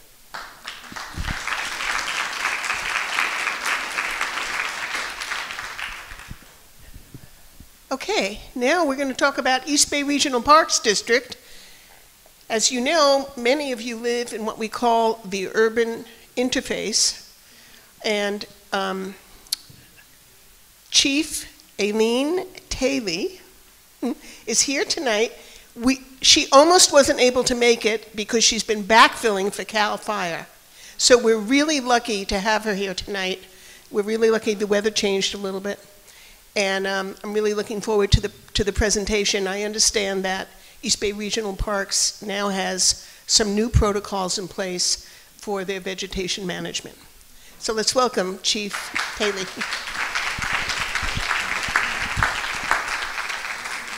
Hi. Hi, everybody. Some of you I've actually seen before. Hi, Mark. so, um, I'm actually here to talk to you tonight about uh, East Bay Regional Park District's Wildfire Hazard Reduction and Resource Management Plan, which sometimes I'll call the plan and sometimes I'll lovingly call the WRUMP because it's a mouthful. But I did want to say one thing. Um, there's been two messages prior to me. Um, they've been about a lot of things, but they've both said, and you'll hear me say the same thing too. Um, I was up at the Lake County fires, and when you're a firefighter, one of the very first things you learn that is your creed, is your Bible, if you will, is you have three priorities, and they are in order life, property, and the environment. So when you get an evacuation order and you don't go because you're worried about your home, what that does to us is make our focus you and not your home because you are our priority and will always be. And so you put us in a in a funny place. And it's not to make you feel bad, but you have to understand that's how we're wired. So if there's a neighborhood with people in it because they're trying to save their homes, we're not going to care about their homes at all. All we're going to care about is getting them out. And I, there was a lot of criticism that I heard. Um, a lot of folks who had lost their homes, suffered great loss, asking, well, why didn't you try to put the fire out? Well, first of all, it's hard to put a fire out with 60 to 70 mile an hour winds. Um, but secondly, they were moving, the fires were moving so quickly that all we could do was get people out. So just try to keep that in the back of your mind when I know you're struggling with the choice of this is my home, I've worked my whole life for this in some cases, or it was my, my family's family's home, and, and I don't want to leave. Don't put us in the, in the predicament where we have to make a choice between getting you out or saving your homes. Just something to think about. So this isn't exactly a new plan that we have. Um, this is a plan that came to be um, pretty much born of the 91, the fire department calls it the tunnel fire. You guys know it as the Oakland Hills fire. In 2004, after a blue ribbon group had been put together um, to kind of take a look at the fact that this has happened, as Chief Brannigan said, every 25, somewhere between 20 and 25 years, starting way back, um, I think, in the 1880s, this area burns. And maybe a little to the south, maybe a little to the north, but it's the same area all the time. So we decided that we wanted to kind of be a little bit ahead of the game, and, and I, I'm very proud of the Park District for doing that, deciding that we needed to have um, a wildfire reduction, a, a, a fuel reduction plan um, that affected the wildland urban interface, which is all the homes up there bordering all the wildland. So there was going to be four points to this, and these were our goals. Reduce the fire hazards on the district-owned lands in the East Bay. Maintain and enhance the ecological values for plant and wildlife habitat consistent with those reduction goals, because after all, you guys can't hear me? Really? I was trying to save you. I'm not exactly uh, quiet. So, because we were a park district, we needed to focus on um, the, the plants and the wildlife habitat consistent with fire reduction goals. We couldn't just go in there and clear anything. We've, we've got federally and state listed species, and so we had to be cognizant of that. We had to preserve the aesthetic landscape values for park users and neighboring communities. I mean, after all, a lot of the reason why people built up in the hills was because they wanted to be near the wildland areas. Um, but then we also needed to provide a vegetation management plan that was cost effective and kind of physically or financially and environmentally sustainable. Because the park district has been reducing fuels in some manner or another for about the last 60 to 70 years and we've done a lot wrong. So we wanted to learn and one of the biggest things we did wrong was we'd go in and do it once right? Then we'd walk away. Well plants grow back trees grow back so this is that horrible picture um, of what the area of the oakland Berkeley Hills looked like after 26 people lost their lives and it cost about $1.7 billion in total. They were completely and totally devastated. That's all been rebuilt. This is what the East Bay Hills looked like in 1899, right? Um, and this isn't necessarily abnormal. It's not like people went in there and said, well, we're going to take all these trees away. It was grazed. But then we came in, whoops, we came in and planted. And this is the East Bay Hills 2009. And for any of you that know Tilden pretty well, this is right next to the, um, the Brazil room. So this is the Brazil room right here, and you're looking southeast. Quite a difference. This is Sibley around top. Anybody hiking Sibley? Okay. Sibley round top today, and this is after we've done some management. And this was part of the issue that happened was the East Bay Hills, um, there was a lot of eucalyptus plantations. And a eucalyptus tree in and of itself is not, not a big deal. Um, but plantations of any kind. I had, um, there was a, a, lady during the first presentation that kind of asked, little quietly, do agave plants burn?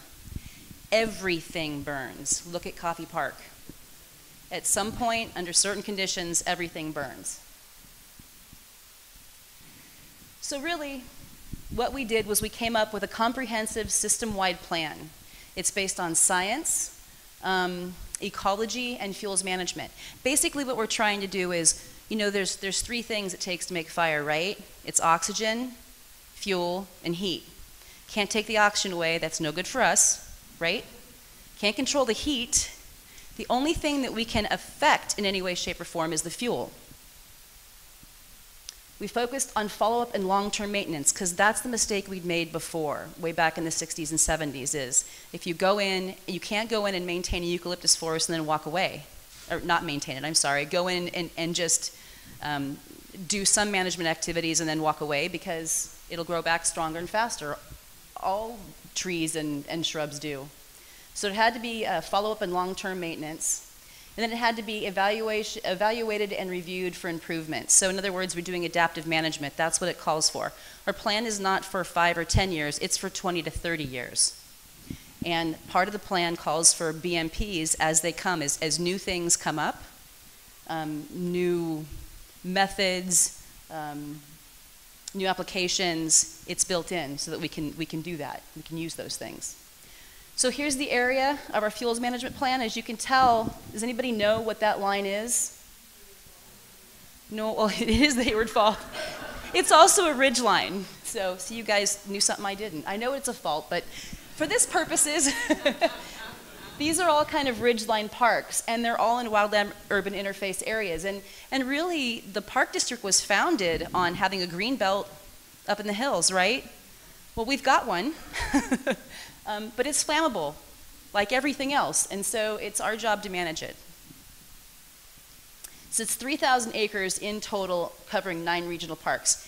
Now, people have often asked me, do you guys have other areas outside of those, that specific area to the plan that you manage uh, for fuel? And the answer is yes, we do, all over the place. Um, Park's over in the east, uh, Garin down in the south, um, even some areas around Ardenwood. And we do that in different ways, whether it be using crews or goats.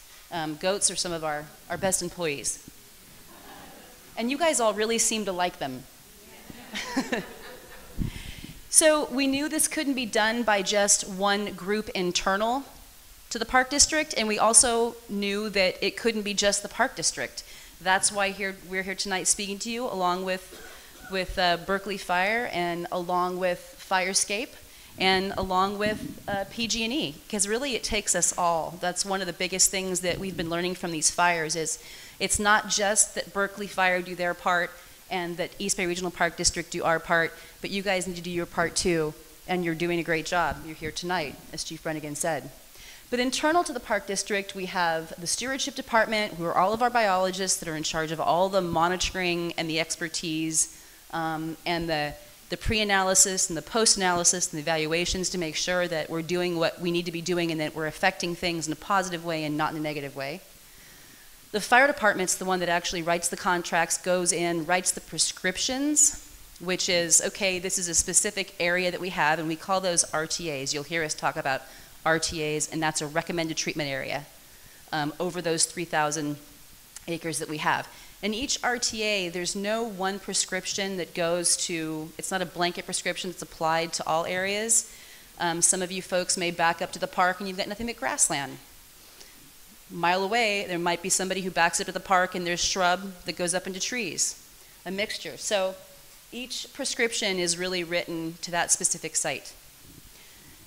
Stewardship also has a say in those prescriptions and, and what they look like. And then we work with our operations staff to actually make it happen. When you're doing a massive fuel reduction area and still running a park at the same time with groups coming in and camping, um, day hikers, mountain bikers, dog walkers, um, you have to work really closely with operations to make sure that while we're doing our fuels reduction work, you all still get to enjoy the park safely.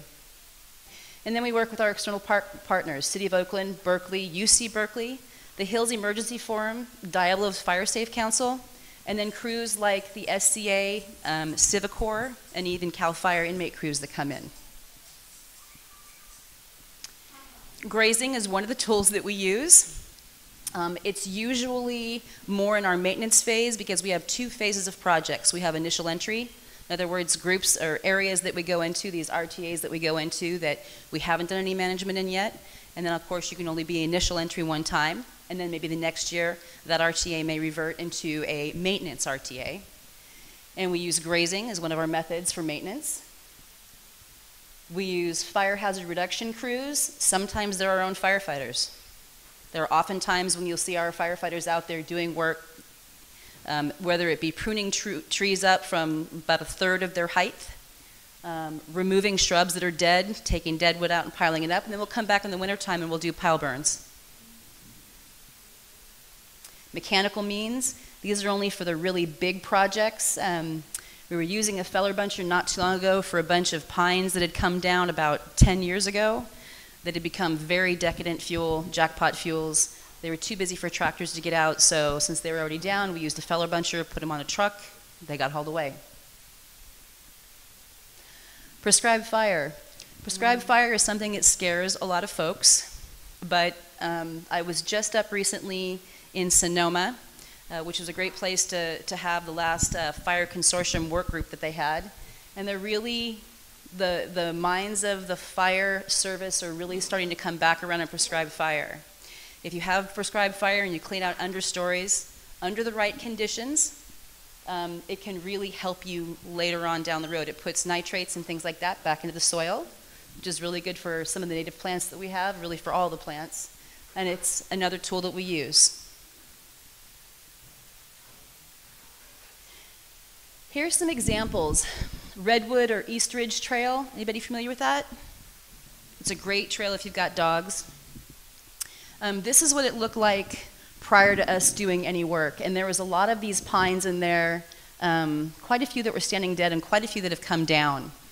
Um, one of the things that um, Jennifer talked about was the, the ladder fuels, the laddering. Why that's so important is because it's much easier for firefighters, since we're ground dwellers, to fight fires on the ground. So a fuel ladder is grasses that then burn up into shrubs that then burn up into trees. They've proven that the majority of wildland urban interface fires that happen, it's not the actual flame front that starts houses on fires, it's the embers that are cast. Like the last two presenters were talking about, embers that are cast. So what we try to do is we try to keep those fires out of the crowns of fires, uh, up, sorry, out of the crowns of the trees, because once it's up there, it can cast embers much further. If it's on the ground, embers can be created too, but they're not going to get on the loft or aloft up on the wind column and cast someplace we don't want it to go. So we went in, we cleared out a lot of the dead wood, we left a lot of the trees that were still standing there, and there's some, there's some grass and brush and trees mixed in, but that's much more enterable for firefighters to get in there and to put things out, and you're going to have a lot less laddering happening there. Whoops, one too many. Here's some more examples up in Tilden. So up here, you see an area that hasn't been touched at all. The before picture, it hasn't been gone into at all. You've got a lot of dead eucalyptus that are down on the ground, and this is what we come in here and do. So there are some chips that are on the ground. You can't see it in that picture very well, but there was a bunch of little bay trees that, that were underneath just waiting for some daylight. So there's a lot of little bays that have come in there, and now that picture looks completely different. There's oaks and bays that are growing up right underneath it, and some, some eucalyptus. Here's another great example on a slope. See how much daylight you can't see over there? um, a lot of those trees are very narrow. They're very they're planted very close together, and that's a really good representation of some of those plantations that grown up that had grown up and, and weren't maintained in any way. So this is what we come in and do. We create spacing, sometimes 10 to 20 foot spacing, sometimes a little bit more, and then we try to maintain it. There's another great picture. That's up in Tilden. Um, this is kind of close to Gillespie Camp. You're familiar with that? So there's a prime example. I think there's a pointer on here. Yeah. There's a prime example of the grasses that are about, those are about kind of halfway up my thigh on this when I was standing in the middle of it. They get into the coyote brush and it'll jump right up into the pine. So what we tried to do was pretty simple. We didn't do a whole lot in here. We brought the goats in and we took all the trees and we just kind of brought their skirts up so that the trees are still healthy and happy. Some of those branches down below were dead, dead wood, um, and they were kind of branching down into the grass. So we've removed that continuity of fuels there. And I think the lower two are pretty self-explanatory there.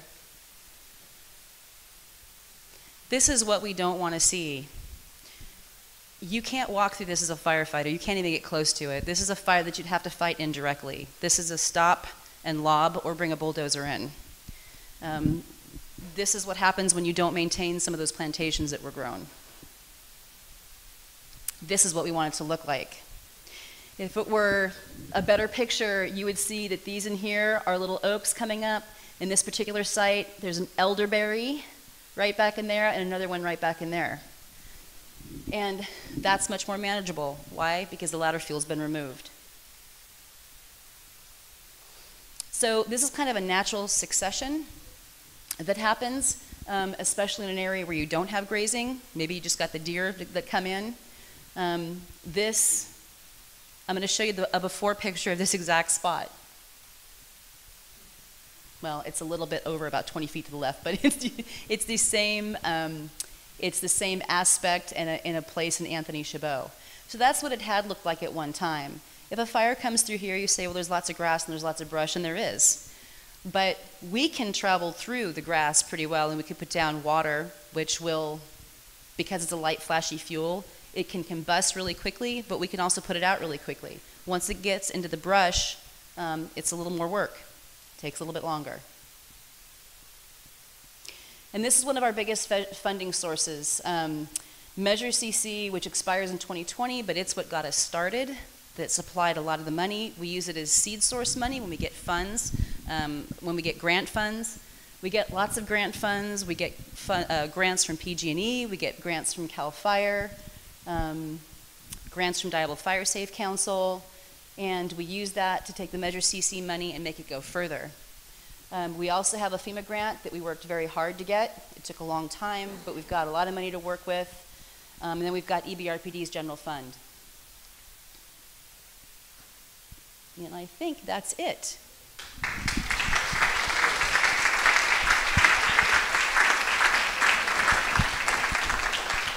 Thank you so much. You're great. Thank you, Chief um, Theile. Thank you very much.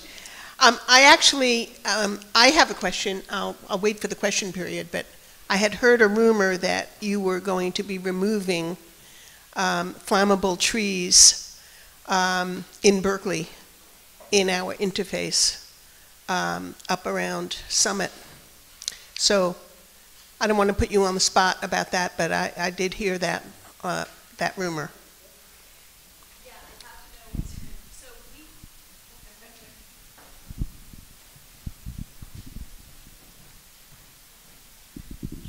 There's two different RTAs, recommended treatment areas, that are up around Summit. I'd have to know which ones they were, and I'd have to look at the prescription. Okay. I can't, I'm, I'm pretty good, but we have, uh, I think, 170 of them. I don't know them all that intimately, but um, I'm sure if it's in a recommended treatment area, um, especially if it's dead trees, we'll be removing them. Okay, So- great, great news. Okay, thank you.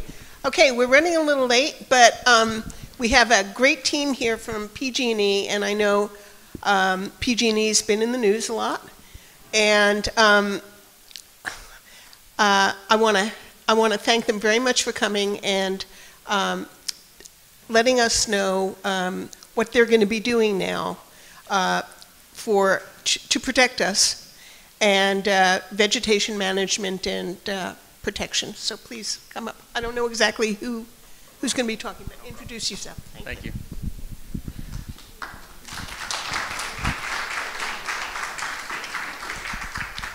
So I'm Matt Pender. I'm the Director of Enhanced Vegetation Management for PG&E across the whole um, PG&E service territory. Um, and I'm going to be going through our Community Wildfire Safety Program, which is a suite of activities that PG&E is undertaking to improve uh, wildfire safety and minimize wildfire risk, again, across the whole service territory with a lot of connections to your area and the hills in particular.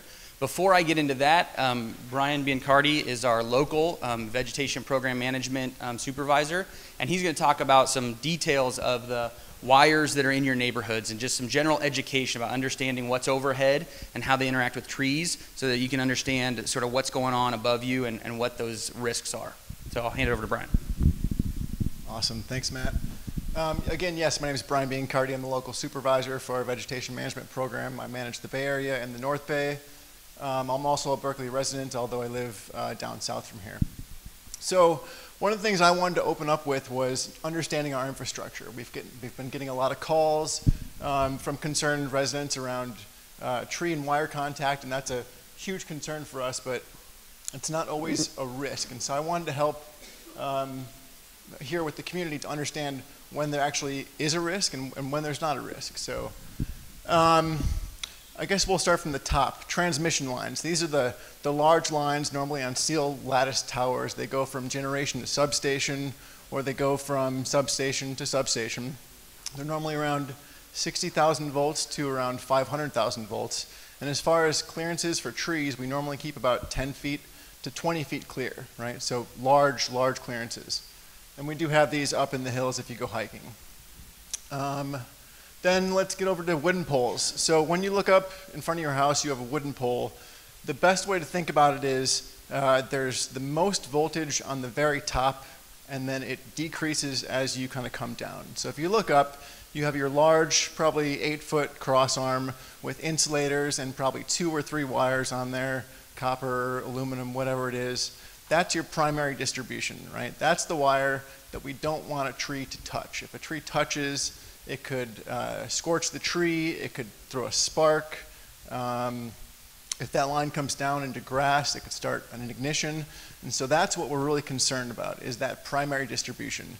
It could be 4,000 uh, volts, it could be 12, it could be 21,000 volts. Um, and then for that, that's what we have the clearances around, right? So CPUC and, and CAL FIRE have uh, public resource codes and, and, regulations around keeping clearances around those specific lines. So that's always above the transformer and it's always above um, a, a yellow high voltage placard, right? So once we step down there, come below the transformer, that's secondary line.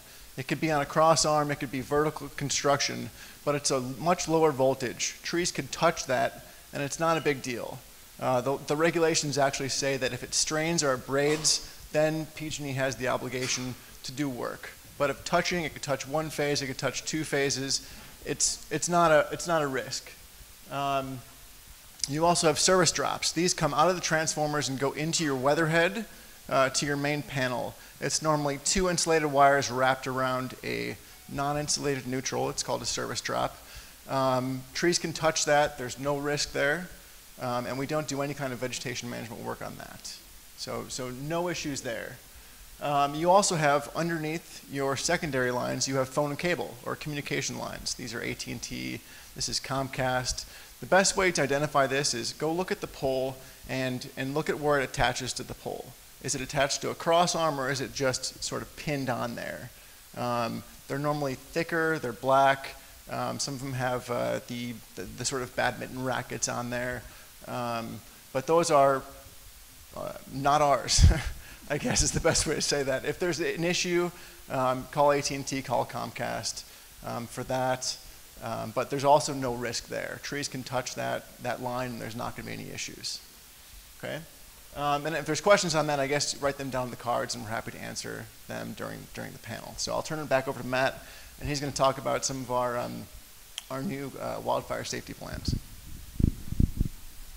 Thanks, Brian. So the, the, summary from this is the wires at the top, particularly the ones off the cross arm that has a high voltage sign, those are the ones that we need to worry about. Those have high enough voltage to be a risk. And so if you do see trees that you think are too close to that, are within 18 inches in particular is the minimum uh, clearance, that's when you should call PG&E and say, hey, I think I got a problem in front of my house.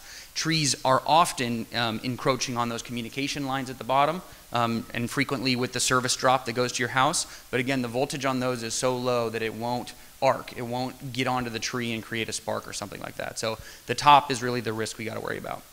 So uh, that's just a little bit of education. PG&E in 2018 um, has launched a comprehensive community wildfire safety program. And for all the reasons that others have talked about today, we know we need to do more and different than we've done in the past. There's a new normal of high wind events, high heat events, drought, uh, vegetation conditions out there. And so PG&E is undertaking this, and we're doing it as much as possible in connection with and in partnership with our communities and our customers. I, uh, Treva and I shared this exact same deck with your fire chief and some other members of your local government uh, three or four months ago, and we had an hour to go through this deck and talk through it and answer their questions. So we've been partnering, and not just your community, but with a whole bunch of other communities to make sure that people um, are understanding and that we can connect together. Because there are some things in here that uh, will impact you or have the a possibility of impacting you, and we want to make sure that, that folks understand and that your community representatives and leaders understand. So, what are the actions we're taking? So, on the left side is sort of how we stay aware of and engaged with what's going on throughout, the, throughout our service territory.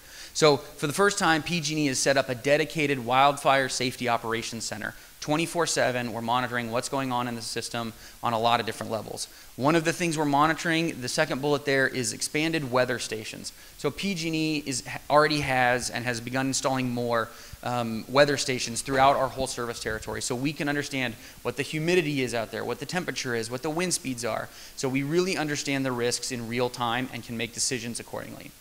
Um, and then we're considering and working with CAL FIRE on how we add wildfire and infrastructure protection teams. So these would be teams that could protect our infrastructure um, from the wildfire or minimize wildfire risks around our assets. So that's sort of how we stay in real time monitoring wildfire risks. In the middle column is what we're doing right now to reduce the wildfire risks. The top bullet there is enhanced vegetation management. That's the, that's the program that I run for PG&E. Um, I'll get into more detail about it uh, later, but the bottom line is we need to create a little more space between vegetation and our lines to make sure that we don't that we minimize that risk and we don't have incidents.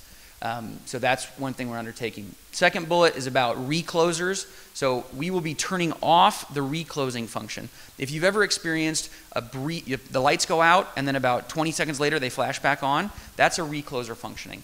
And that's a device that is intended to improve reliability. Instead of your power being out for two hours, it was only out for that 20 seconds.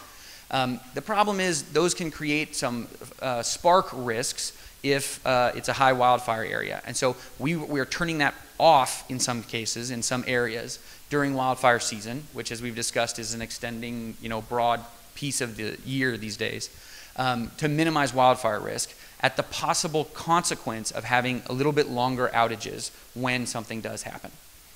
Um, and then the bottom one here, which is the most impactful, is we're working on our protocols to proactively turn the power off to reduce wildfire risk if the conditions warrant. So again, going back to that first thing, that first column, we have a 24/7 watch center that has weather stations throughout the state, and if the well throughout our service territory, which is two thirds of the state, and uh, if those conditions warrant, we will be prepared to turn the power off to eliminate the possibility of a, you know a spark starting from our lines. Um, so we're working with a number of stakeholders on that, with community leaders, um, you know, public safety organizations, the CPUC, uh, but that's something we want people to be aware of. And then the far right side talks about in the long run, what are we doing to change our system? This will take a long time. We have a big system with a lot of assets, so it's not going to all happen overnight. But we're working on how do we deploy coated, stronger power lines that can maybe um, re resist certain uh, impacts. We're replacing wood poles with non-wood poles to create an extra level of strength there. And then also developing microgrids in certain areas which can isolate communities and things like that. So where are we focusing these efforts? The CPUC, our regulatory body that regulates us, has provided us clear guidance on where we should focus these areas. They've given us this map of high fire threat zones throughout the state with the tier two and tier three zones very clearly delineated. And so as we look at the city of Berkeley, the tier two, which means elevated fire risk, is the orange, and the tier three, which is extreme, is the brown, which it's a little hard to see, but it's down here, as you'd expect, in the hills, and then obviously all this outside the city limits, but neighboring maybe some of your properties and homes, um, is tier three. So these are the areas that we're focused most especially on doing these activities that I mentioned previously in terms of vegetation management, in terms of long-term system hardening, and in terms of the power, the public safety power shutoff. Um, so that's how it looks, and I don't know where your districts are for the um, uh, for you guys, but uh, that shows you where the impacted areas are. I talked about the Wildfire Safety Operations Center. I, I think I gave most of the highlights earlier. It's a real-time, 24/7 um, area where we're going to be watching all of our data inputs about what the risks are. Let me make one more comment on the high fire threat map. The CPUC website has this information in both PDF form and other forms for folks to look at where the high fire threat zones are. And then on PG&E's website, there's a, a portal, so pgne.com slash wildfire safety. There's a place where you can type in your address and it will tell you what tier you're in. It'll tell you if you're in one of these areas that is, um, you know, particularly higher hazard, either elevated or extreme risk. So, public safety power shut off. Um, if you live on a, if you're served by a PG&E circuit that goes through the high fire threat zones, those things that were highlighted on the map, um, we are prepared to potentially deactivate power on that circuit to minimize risk if the weather conditions, uh, you know, cause that, drive that decision for us. So we don't take that lightly. We know that has a huge impact. We know that turning the power off puts other things at risk in your lives.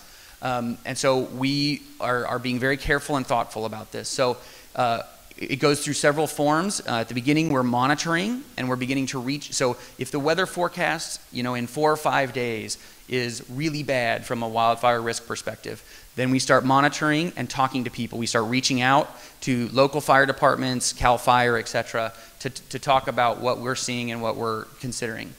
If the weather conditions continue to look like we may need to take this action, then we begin informing people. We begin talk, uh, reaching out to customers, um, you know, phone, outbound phone calls from PG&E, text messages, emails, etc. And then if it continues to be that bad, then we get into the zone where we have to actually do it. We have to shut off the power. Again, we'll be notifying, you know, repeatedly, uh, and then working to safely restore power. So once those conditions have moved on, let's say the winds have died down or the humidity has come back up, um, then we'll have to uh, inspect our lines, go out and patrol to make sure that nothing came down and there are no risks uh, before we turn the power back on. So that's serious. That's, that's a big deal, and we're not taking it lightly. The biggest, most important part of this for us is that PG&E has your best contact information. So again, pgne.com slash wildfire safety. Um, there's a link there to make sure we have the right contact information for you and for you to select your channel of choice. How do you want to be communicated to, with? Do you want a phone call? Do you want an email? Do you want a text message? Um, that's, uh, that's something we want to know so that 48 hours in advance when we start you know, wanting to communicate with people about this decision we might have to make, that we can get a hold of you uh, and get that information to you. Um, so uh, we this is a last resort. We don't want to do this. We don't we know that it has huge impacts, but we want people in the high fire threat areas, so tier 2, tier 3 or served off of one of those circuits to be prepared for this to happen one to two times during the peak of fire season, which is now until potentially November, depending on how the weather goes. Um, so we want people to be able to, to um, be prepared for this. PG&E is making plans. We're going to communicate to you, but we want you to have a plan if we communicate this to you. If we ping you 48 hours in advance and say, hey, your power might go off um, because we need to minimize risk. Um, when it happens, we need to be prepared for it to be out for at least 24 hours. We think in most cases it won't even be that long, but you know that's sort of the minimum to be prepared for. And in extreme circumstances where the weather conditions persist, these could last for two to five days. And so, you know, it, it, it's the weather. You know, we don't control that and we have to react to it. But that's what we want people to be prepared for. Uh, again, notifications would be at least one hour up to 48 hours in advance, depending on how much warning we have about the weather. Um, and we want to make sure that you, uh, we have the right phone, text, or email address for you. Uh, we'll also be conducting direct outreach to medical baseline or life support customers. So some of our, many of our customers uh, have special conditions, again, access limitations, but also medical devices that make it such that they really need power. Uh, we already have extensive lists of that, um, but you can check. You can call our customer, if, if that might be you or it might be your neighbor, you can call our call center and say, hey, am I on the medical baseline list? Um, and if not, I'd like to get on there so that uh, I'm made aware of this.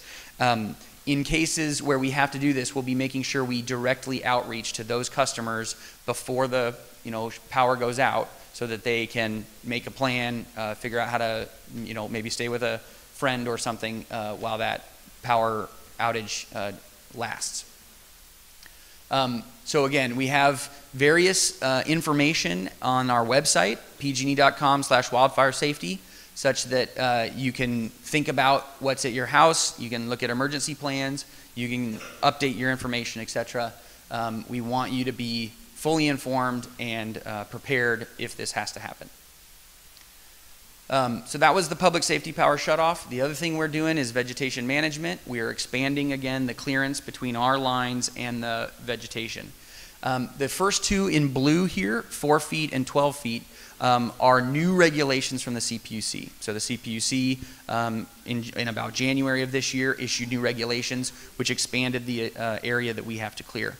At the bottom, it says 15 feet, and what that's talking about is that in the tier three areas, the extreme fire risk zones, we're looking to create fire defense zones around our distribution wires that really clear out most of the vegetative fuels from underneath our power lines. Um, that creates an area where fires will be slowed, where they could be on the ground instead of up in the canopies. It creates an entry point or an access point for PG&E or other first responders to get in and, and do things around the access or around the assets uh, if a fire's coming or something like that. And then it also enhances defensible space around your home, your property, uh, and those kind of things. So uh, this is something that we'll be coming and talking to customers who have distribution lines running across their property in tier three areas to talk to them about this work that we'd like to do on their property and work with them on that. Um, and then electric system hardening. Uh, again, this is a long-term, long-running program. Um, in the last five years, we've already spent $15 billion making our system stronger, making it harder. We're constantly revisiting our uh, design standards to make sure when we upgrade assets or put something in that it's strong, it's going to last for a long time, and it's more and more wildfire resilient than what we've had in the past. Um, and I already mentioned a few of those details, but that's the long-term uh, system change as we move forward that you'll start to see our assets look differently than they have in the past.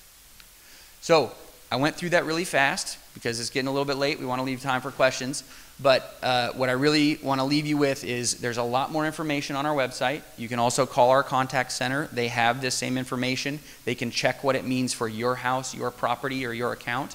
Um, and PG&E is developing our plans for how we're going to help prevent wildfires, how we're going to respond if they occur, and we want to make sure you guys have a plan if we have to deactivate power proactively, if we come to your property to talk to you about vegetation management, we want you to understand why that's important.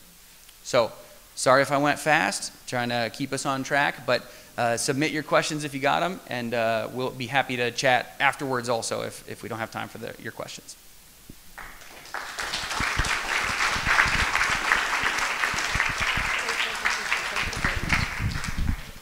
Okay, wow. Um, okay, it's a little late, but I have a whole bunch of questions, and sometimes the questions are extremely informative. Um, so um, I'd like uh, actually all the speakers to come up so that um, you can quickly field the question. Um, so here's one for PG&E.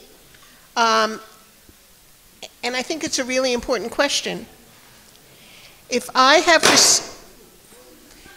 if I have received notice that my power is out, can I assume it's okay for me to cross a downed power line? Okay, do you understand the question? And you're so far away. Is this one working? Can you hear me? Uh, No.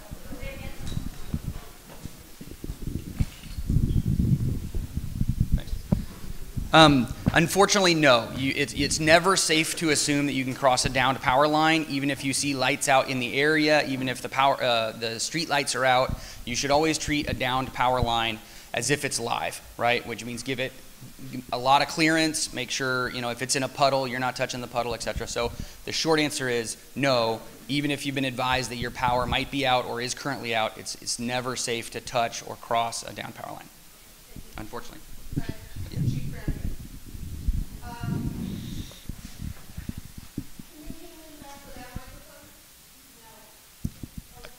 You want me to repeat the question when you, yeah. How many different languages will the AC alerts, Nixle, phone calls be given in? That is a great question. She, she, she said, how many languages will these alerts be sent in? And uh, it's a little background, in disasters and emergencies, people will be scared and in shock. Those who speak English as a second language, or not at all, will revert to their native language. They may not understand instructions. That is a great question. So yeah, people who, where English is a second language or don't speak it at all might have difficulties.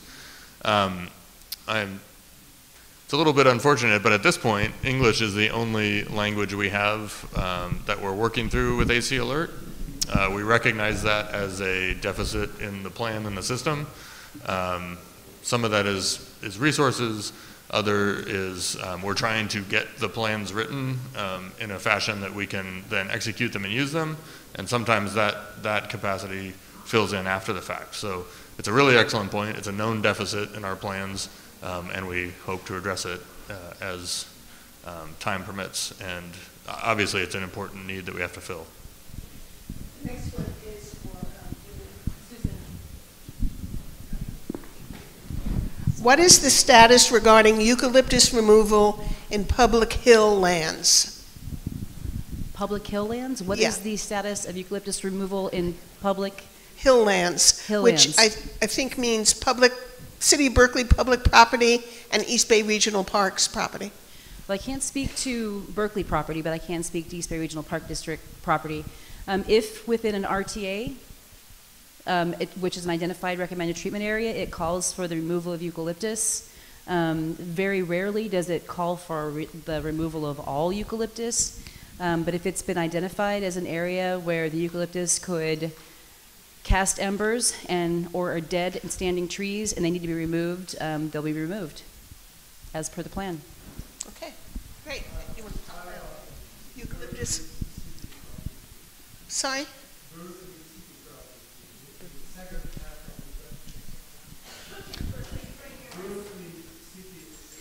So he's asking about Berkeley. So they're Yes, asking about Berkeley. Berkeley City property Yeah. also. So uh, the parks um, and most open space in Berkeley property is managed by Parks, Recs, and Waterfront. Um, I've been working with the director on that. It's not just eucalyptus; it's also pines um, and other highly flammable, dangerous things. One of the, the projects I think um, Councilmember Wengraf asked about uh, with East Bay Parks is, is right along the area of Ajax um, and to the south to um, an area maybe a couple hundred yards down the way, they're taking out lots and lots and lots of dangerous trees. And there are a few that we identified when we walked through the area. Uh, Scott Ferris is the, the PRW director. And there's a particularly large overhanging pine that we're concerned about. So we're combining resources through the parks budget and the fire budget to pay to take that tree out. And um, beyond that, the forestry division has a regular maintenance plan for the parks. Um, I can't speak on behalf of a particular species like eucalyptus, um, so I'd have to check with the park director and the forestry division on exactly what that status is. But um, they they follow their regular maintenance, and and it's again on our list to have a, a better, larger coordinated effort in conjunction with the work they do, um, and make sure our parks and our public land that we're responsible for is consistent with best practices. Okay, thank you. Thank you. Um, For Jennifer, is ivy flammable? Yes. Well, If you do cut it down and whack it, it'll come back. Thank you. Uh, The next question is for Fire Chief Brannigan. Will the city designate areas to evacuate to, or is the evacuation destination up to each household? Yeah, that's a, um, an interesting question because in the early minutes and hour of a fire like this, part of what we want to do with this evacuation plan is have the pre-planned some major routes. Um, the message may come through to just go.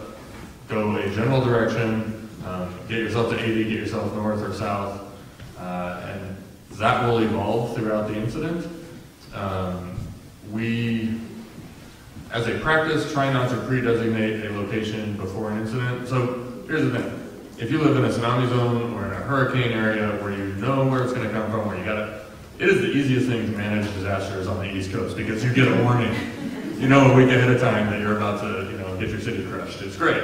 I wish we could work out there. But uh, this keeps us on our toes. And so earthquakes, wildfires, all of that, we have to wait until it happens to know what's going to be there and where we're going to send people. So what will likely happen is the initial message will be get out, and that's where your pre-planning is going to come in. Okay, I'm going to get out. These are my options. Here's what I see. There's smoke. I'm going the other way. Generally a good plan. And then, um, as we develop that, as we activate the city's EOC and our emergency managers get up online and we communicate with the school district, and we communicate with our partners at UC, we might be able to say, there's an evacuation center at San Pablo Park gather at San Pablo Park, or maybe that's not good enough. Maybe it's down at the marina, or maybe it's Golden Gate Fields, or maybe it's nowhere in the East Bay, um, and it's go to San Francisco. And, and once we establish those connections with partners and we know where we can send people, we'll have more information to go out to the public. Thank you so much. All right, thank you. So um, there's three, I have three questions here that are very similar. Um, One is after the 1991 Oakland fire, the city of Berkeley arranged for self-inspections of all homes, followed by inspections by the fire department.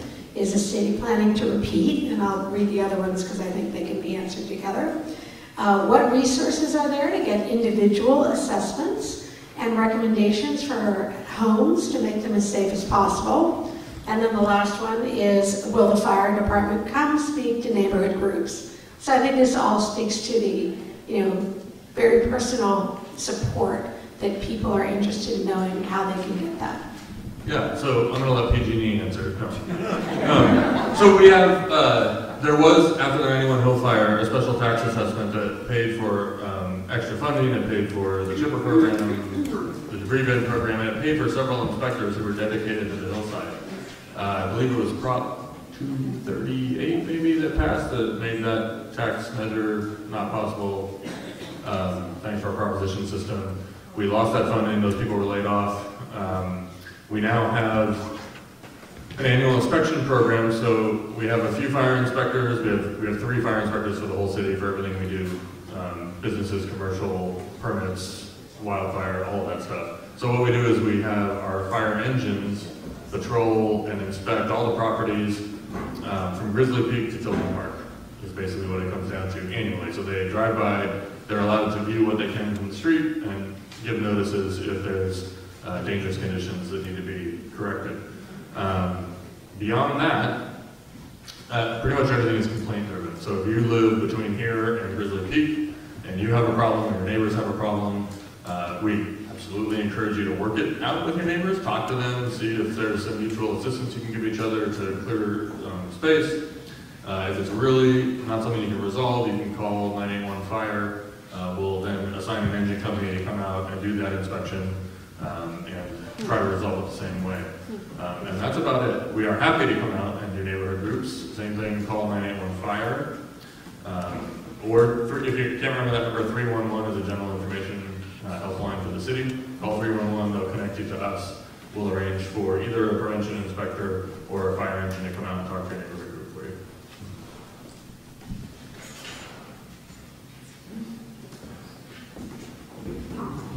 Okay, this one's for PG&E. Can you talk about the haywire scenario and specifically how downed power lines will prevent evacuation and fire department access? Uh, read it again, Mark. The haywires? Haywire, are you familiar with that? Okay. Are you?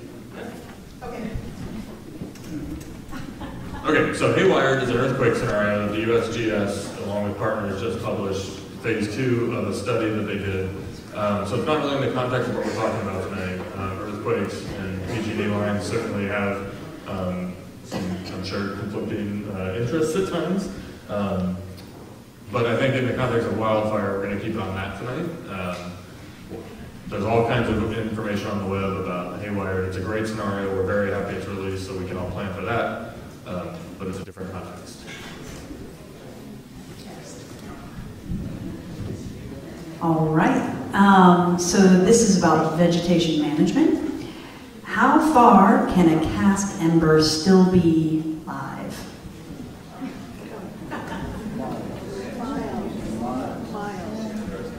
You're talking about ember being cast? I just don't ever you say cats and birds. Sorry. That'd be the next question. Right, okay, thanks. So there's, there were rumors, and they're rumors because they haven't been proven, um, after the Oakland, after the tunnel fire, remember that was during a north wind event, um, which means, you know, blowing, the, the wind blowing, very hot, very dry, from Mount Diablo off the shore across, that there were embers that were landing in San Francisco. Not proven, I can't speak to that. Um, it depends on the amber source. Um, pine needles usually don't last that long. Um, there are studies, I can't quote them, but somewhere between three and five miles. Um, some people say as far as seven. Okay, uh, so the next two questions uh, that I have here, and I think I might add a little spin of my own, basically go to the question of undergrounding. Um, so, what about undergrounding wires? is one of them, and the other is are the wooden electric poles themselves highly flammable? But I also wanted to just ask if you could um, maybe further elaborate um, on the distinction between um, what happens when you have an ignition from an electrical wire source versus what happens when a tree falls on a line and a, and a pole comes down versus versus what happens when a pole burns. And I think people conflate all those into one thing, but if I understood correctly, um, those are slight, all, each one is a slightly different scenario. So if you could maybe drill down a little bit on what is really going on with poles, as well as talk about undergrounding and, and the benefits or, or costs. Right. So, um, so starting with undergrounding, um, PG&E is investigating uh, a number of things about undergrounding, how to do it as cost effectively as possible, um, how to approach it uh, from a risk perspective, and, and the CPUC, our regulator, is doing the same. Um, the, the undergrounding um, gentleman earlier this evening mentioned Rule 20, which is the CPUC rule that guides and governs undergrounding projects and how utilities should go about addressing that and that is an old rule that really uh, is has nothing in it related to wildfire risk or things of that nature. So undergrounding has benefits, it has challenges, uh, it's costly to do, it's environmentally impactful to do, etc. Um, and so everyone, PG&E, CPUC, is revisiting how we should approach that and how we should think about undergrounding. Um, so it is certainly not a short-term solution at scale. It's not possible to underground a lot of stuff by October, right?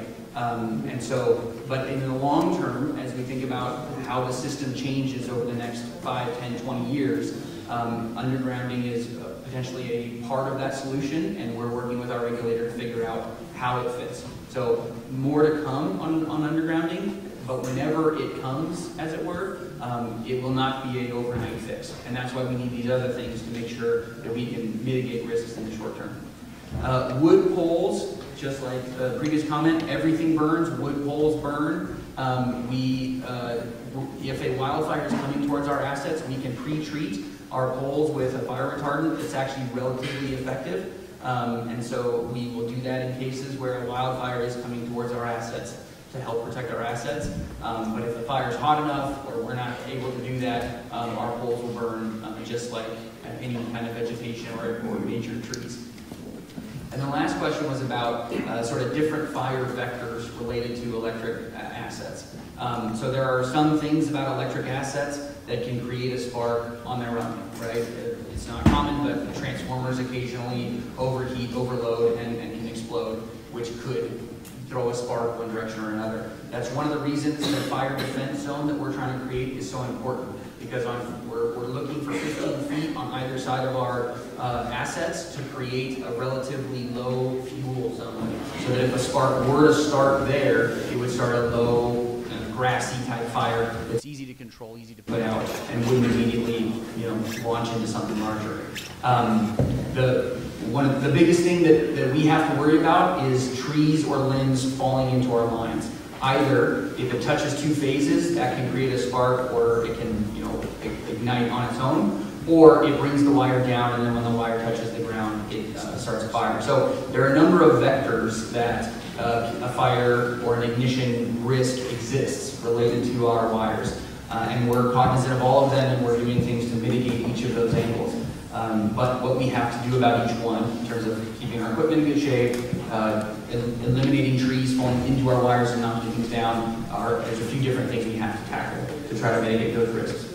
And, and the public safety power shutoff program I talked about eliminates those risks if we have to turn that, uh, if we have to flip that switch. So we don't want to use it a lot, but temporarily, if the weather conditions uh, drive us to do that, we'll do that. We'll turn it off, and then it eliminates all those vectors for as long as is, is turned off. Okay, I'm going to field the next question because I've been very involved in this. What is being done to improve evacuation and fire truck access by dealing with parking choke points? Okay, this is a really big issue in my district in the hills. Um, and it's a very controversial topic because everybody wants the parking spot in front of their house, whether it's a choke point or not. Um, one of the 81 referrals that the fire department received was to work with the Public Works Department, because this is an interdepartmental issue, to identify those choke points and to red stripe them. Now, I, I know people are not going to be happy, but we really have to think about the greater good. Um, so we're going to lose parking. Please, empty out your garages and park in your garages. And guess what? Your car won't be broken into. Okay? I'm glad you agree. Now all you have to do is go home and do it. so, hopefully, in the remainder of my tenure, we will see those choke points opened up. The, the standard is 14 feet clearance, is that correct? Or is it 12? Bare minimum is 14 feet from, you know, edge to edge. And if you have a curve, you need even more because when the truck turns, it, it needs more than 14 feet. So um, we once had a map, many years ago, we had a planner in the fire department who made a map of all of the points in the hills that needed to be red zoned. and um, it was pretty dramatic. and uh, I tell you, you know, there's no way we, we can do that. But we, but we have to deal with the really, the really critical places. So um, um, I, I think we're going to move forward with it. I think we have to. Okay, next question. Okay. Will you communicate through AC alert or through Nixle? Yes. We will communicate through both. Uh, In those cases, we'll be sending Both. the alert. Yeah. Okay, and the last one. I think this is for Jennifer. Aren't bays and oaks sprouting ladder fuels threatening the eucs? Are bays and oaks sprouting under eucalyptus canopy Are- ladder fuel? Are bays and oaks sprouting ladder fuels threatening the eucs? I don't, I don't think that they're a threat to the eucalyptus. Anything that can help a fire climb from low to high is ladder fuel. So I would say yes, but eucalyptus also throw down those, those, all that bark and all that stuff and give them a leg up. Yeah, so I don't, I wouldn't blame it on the sap seedlings. Okay. Yeah. All right, that's it. I want a big round of applause for our panelists.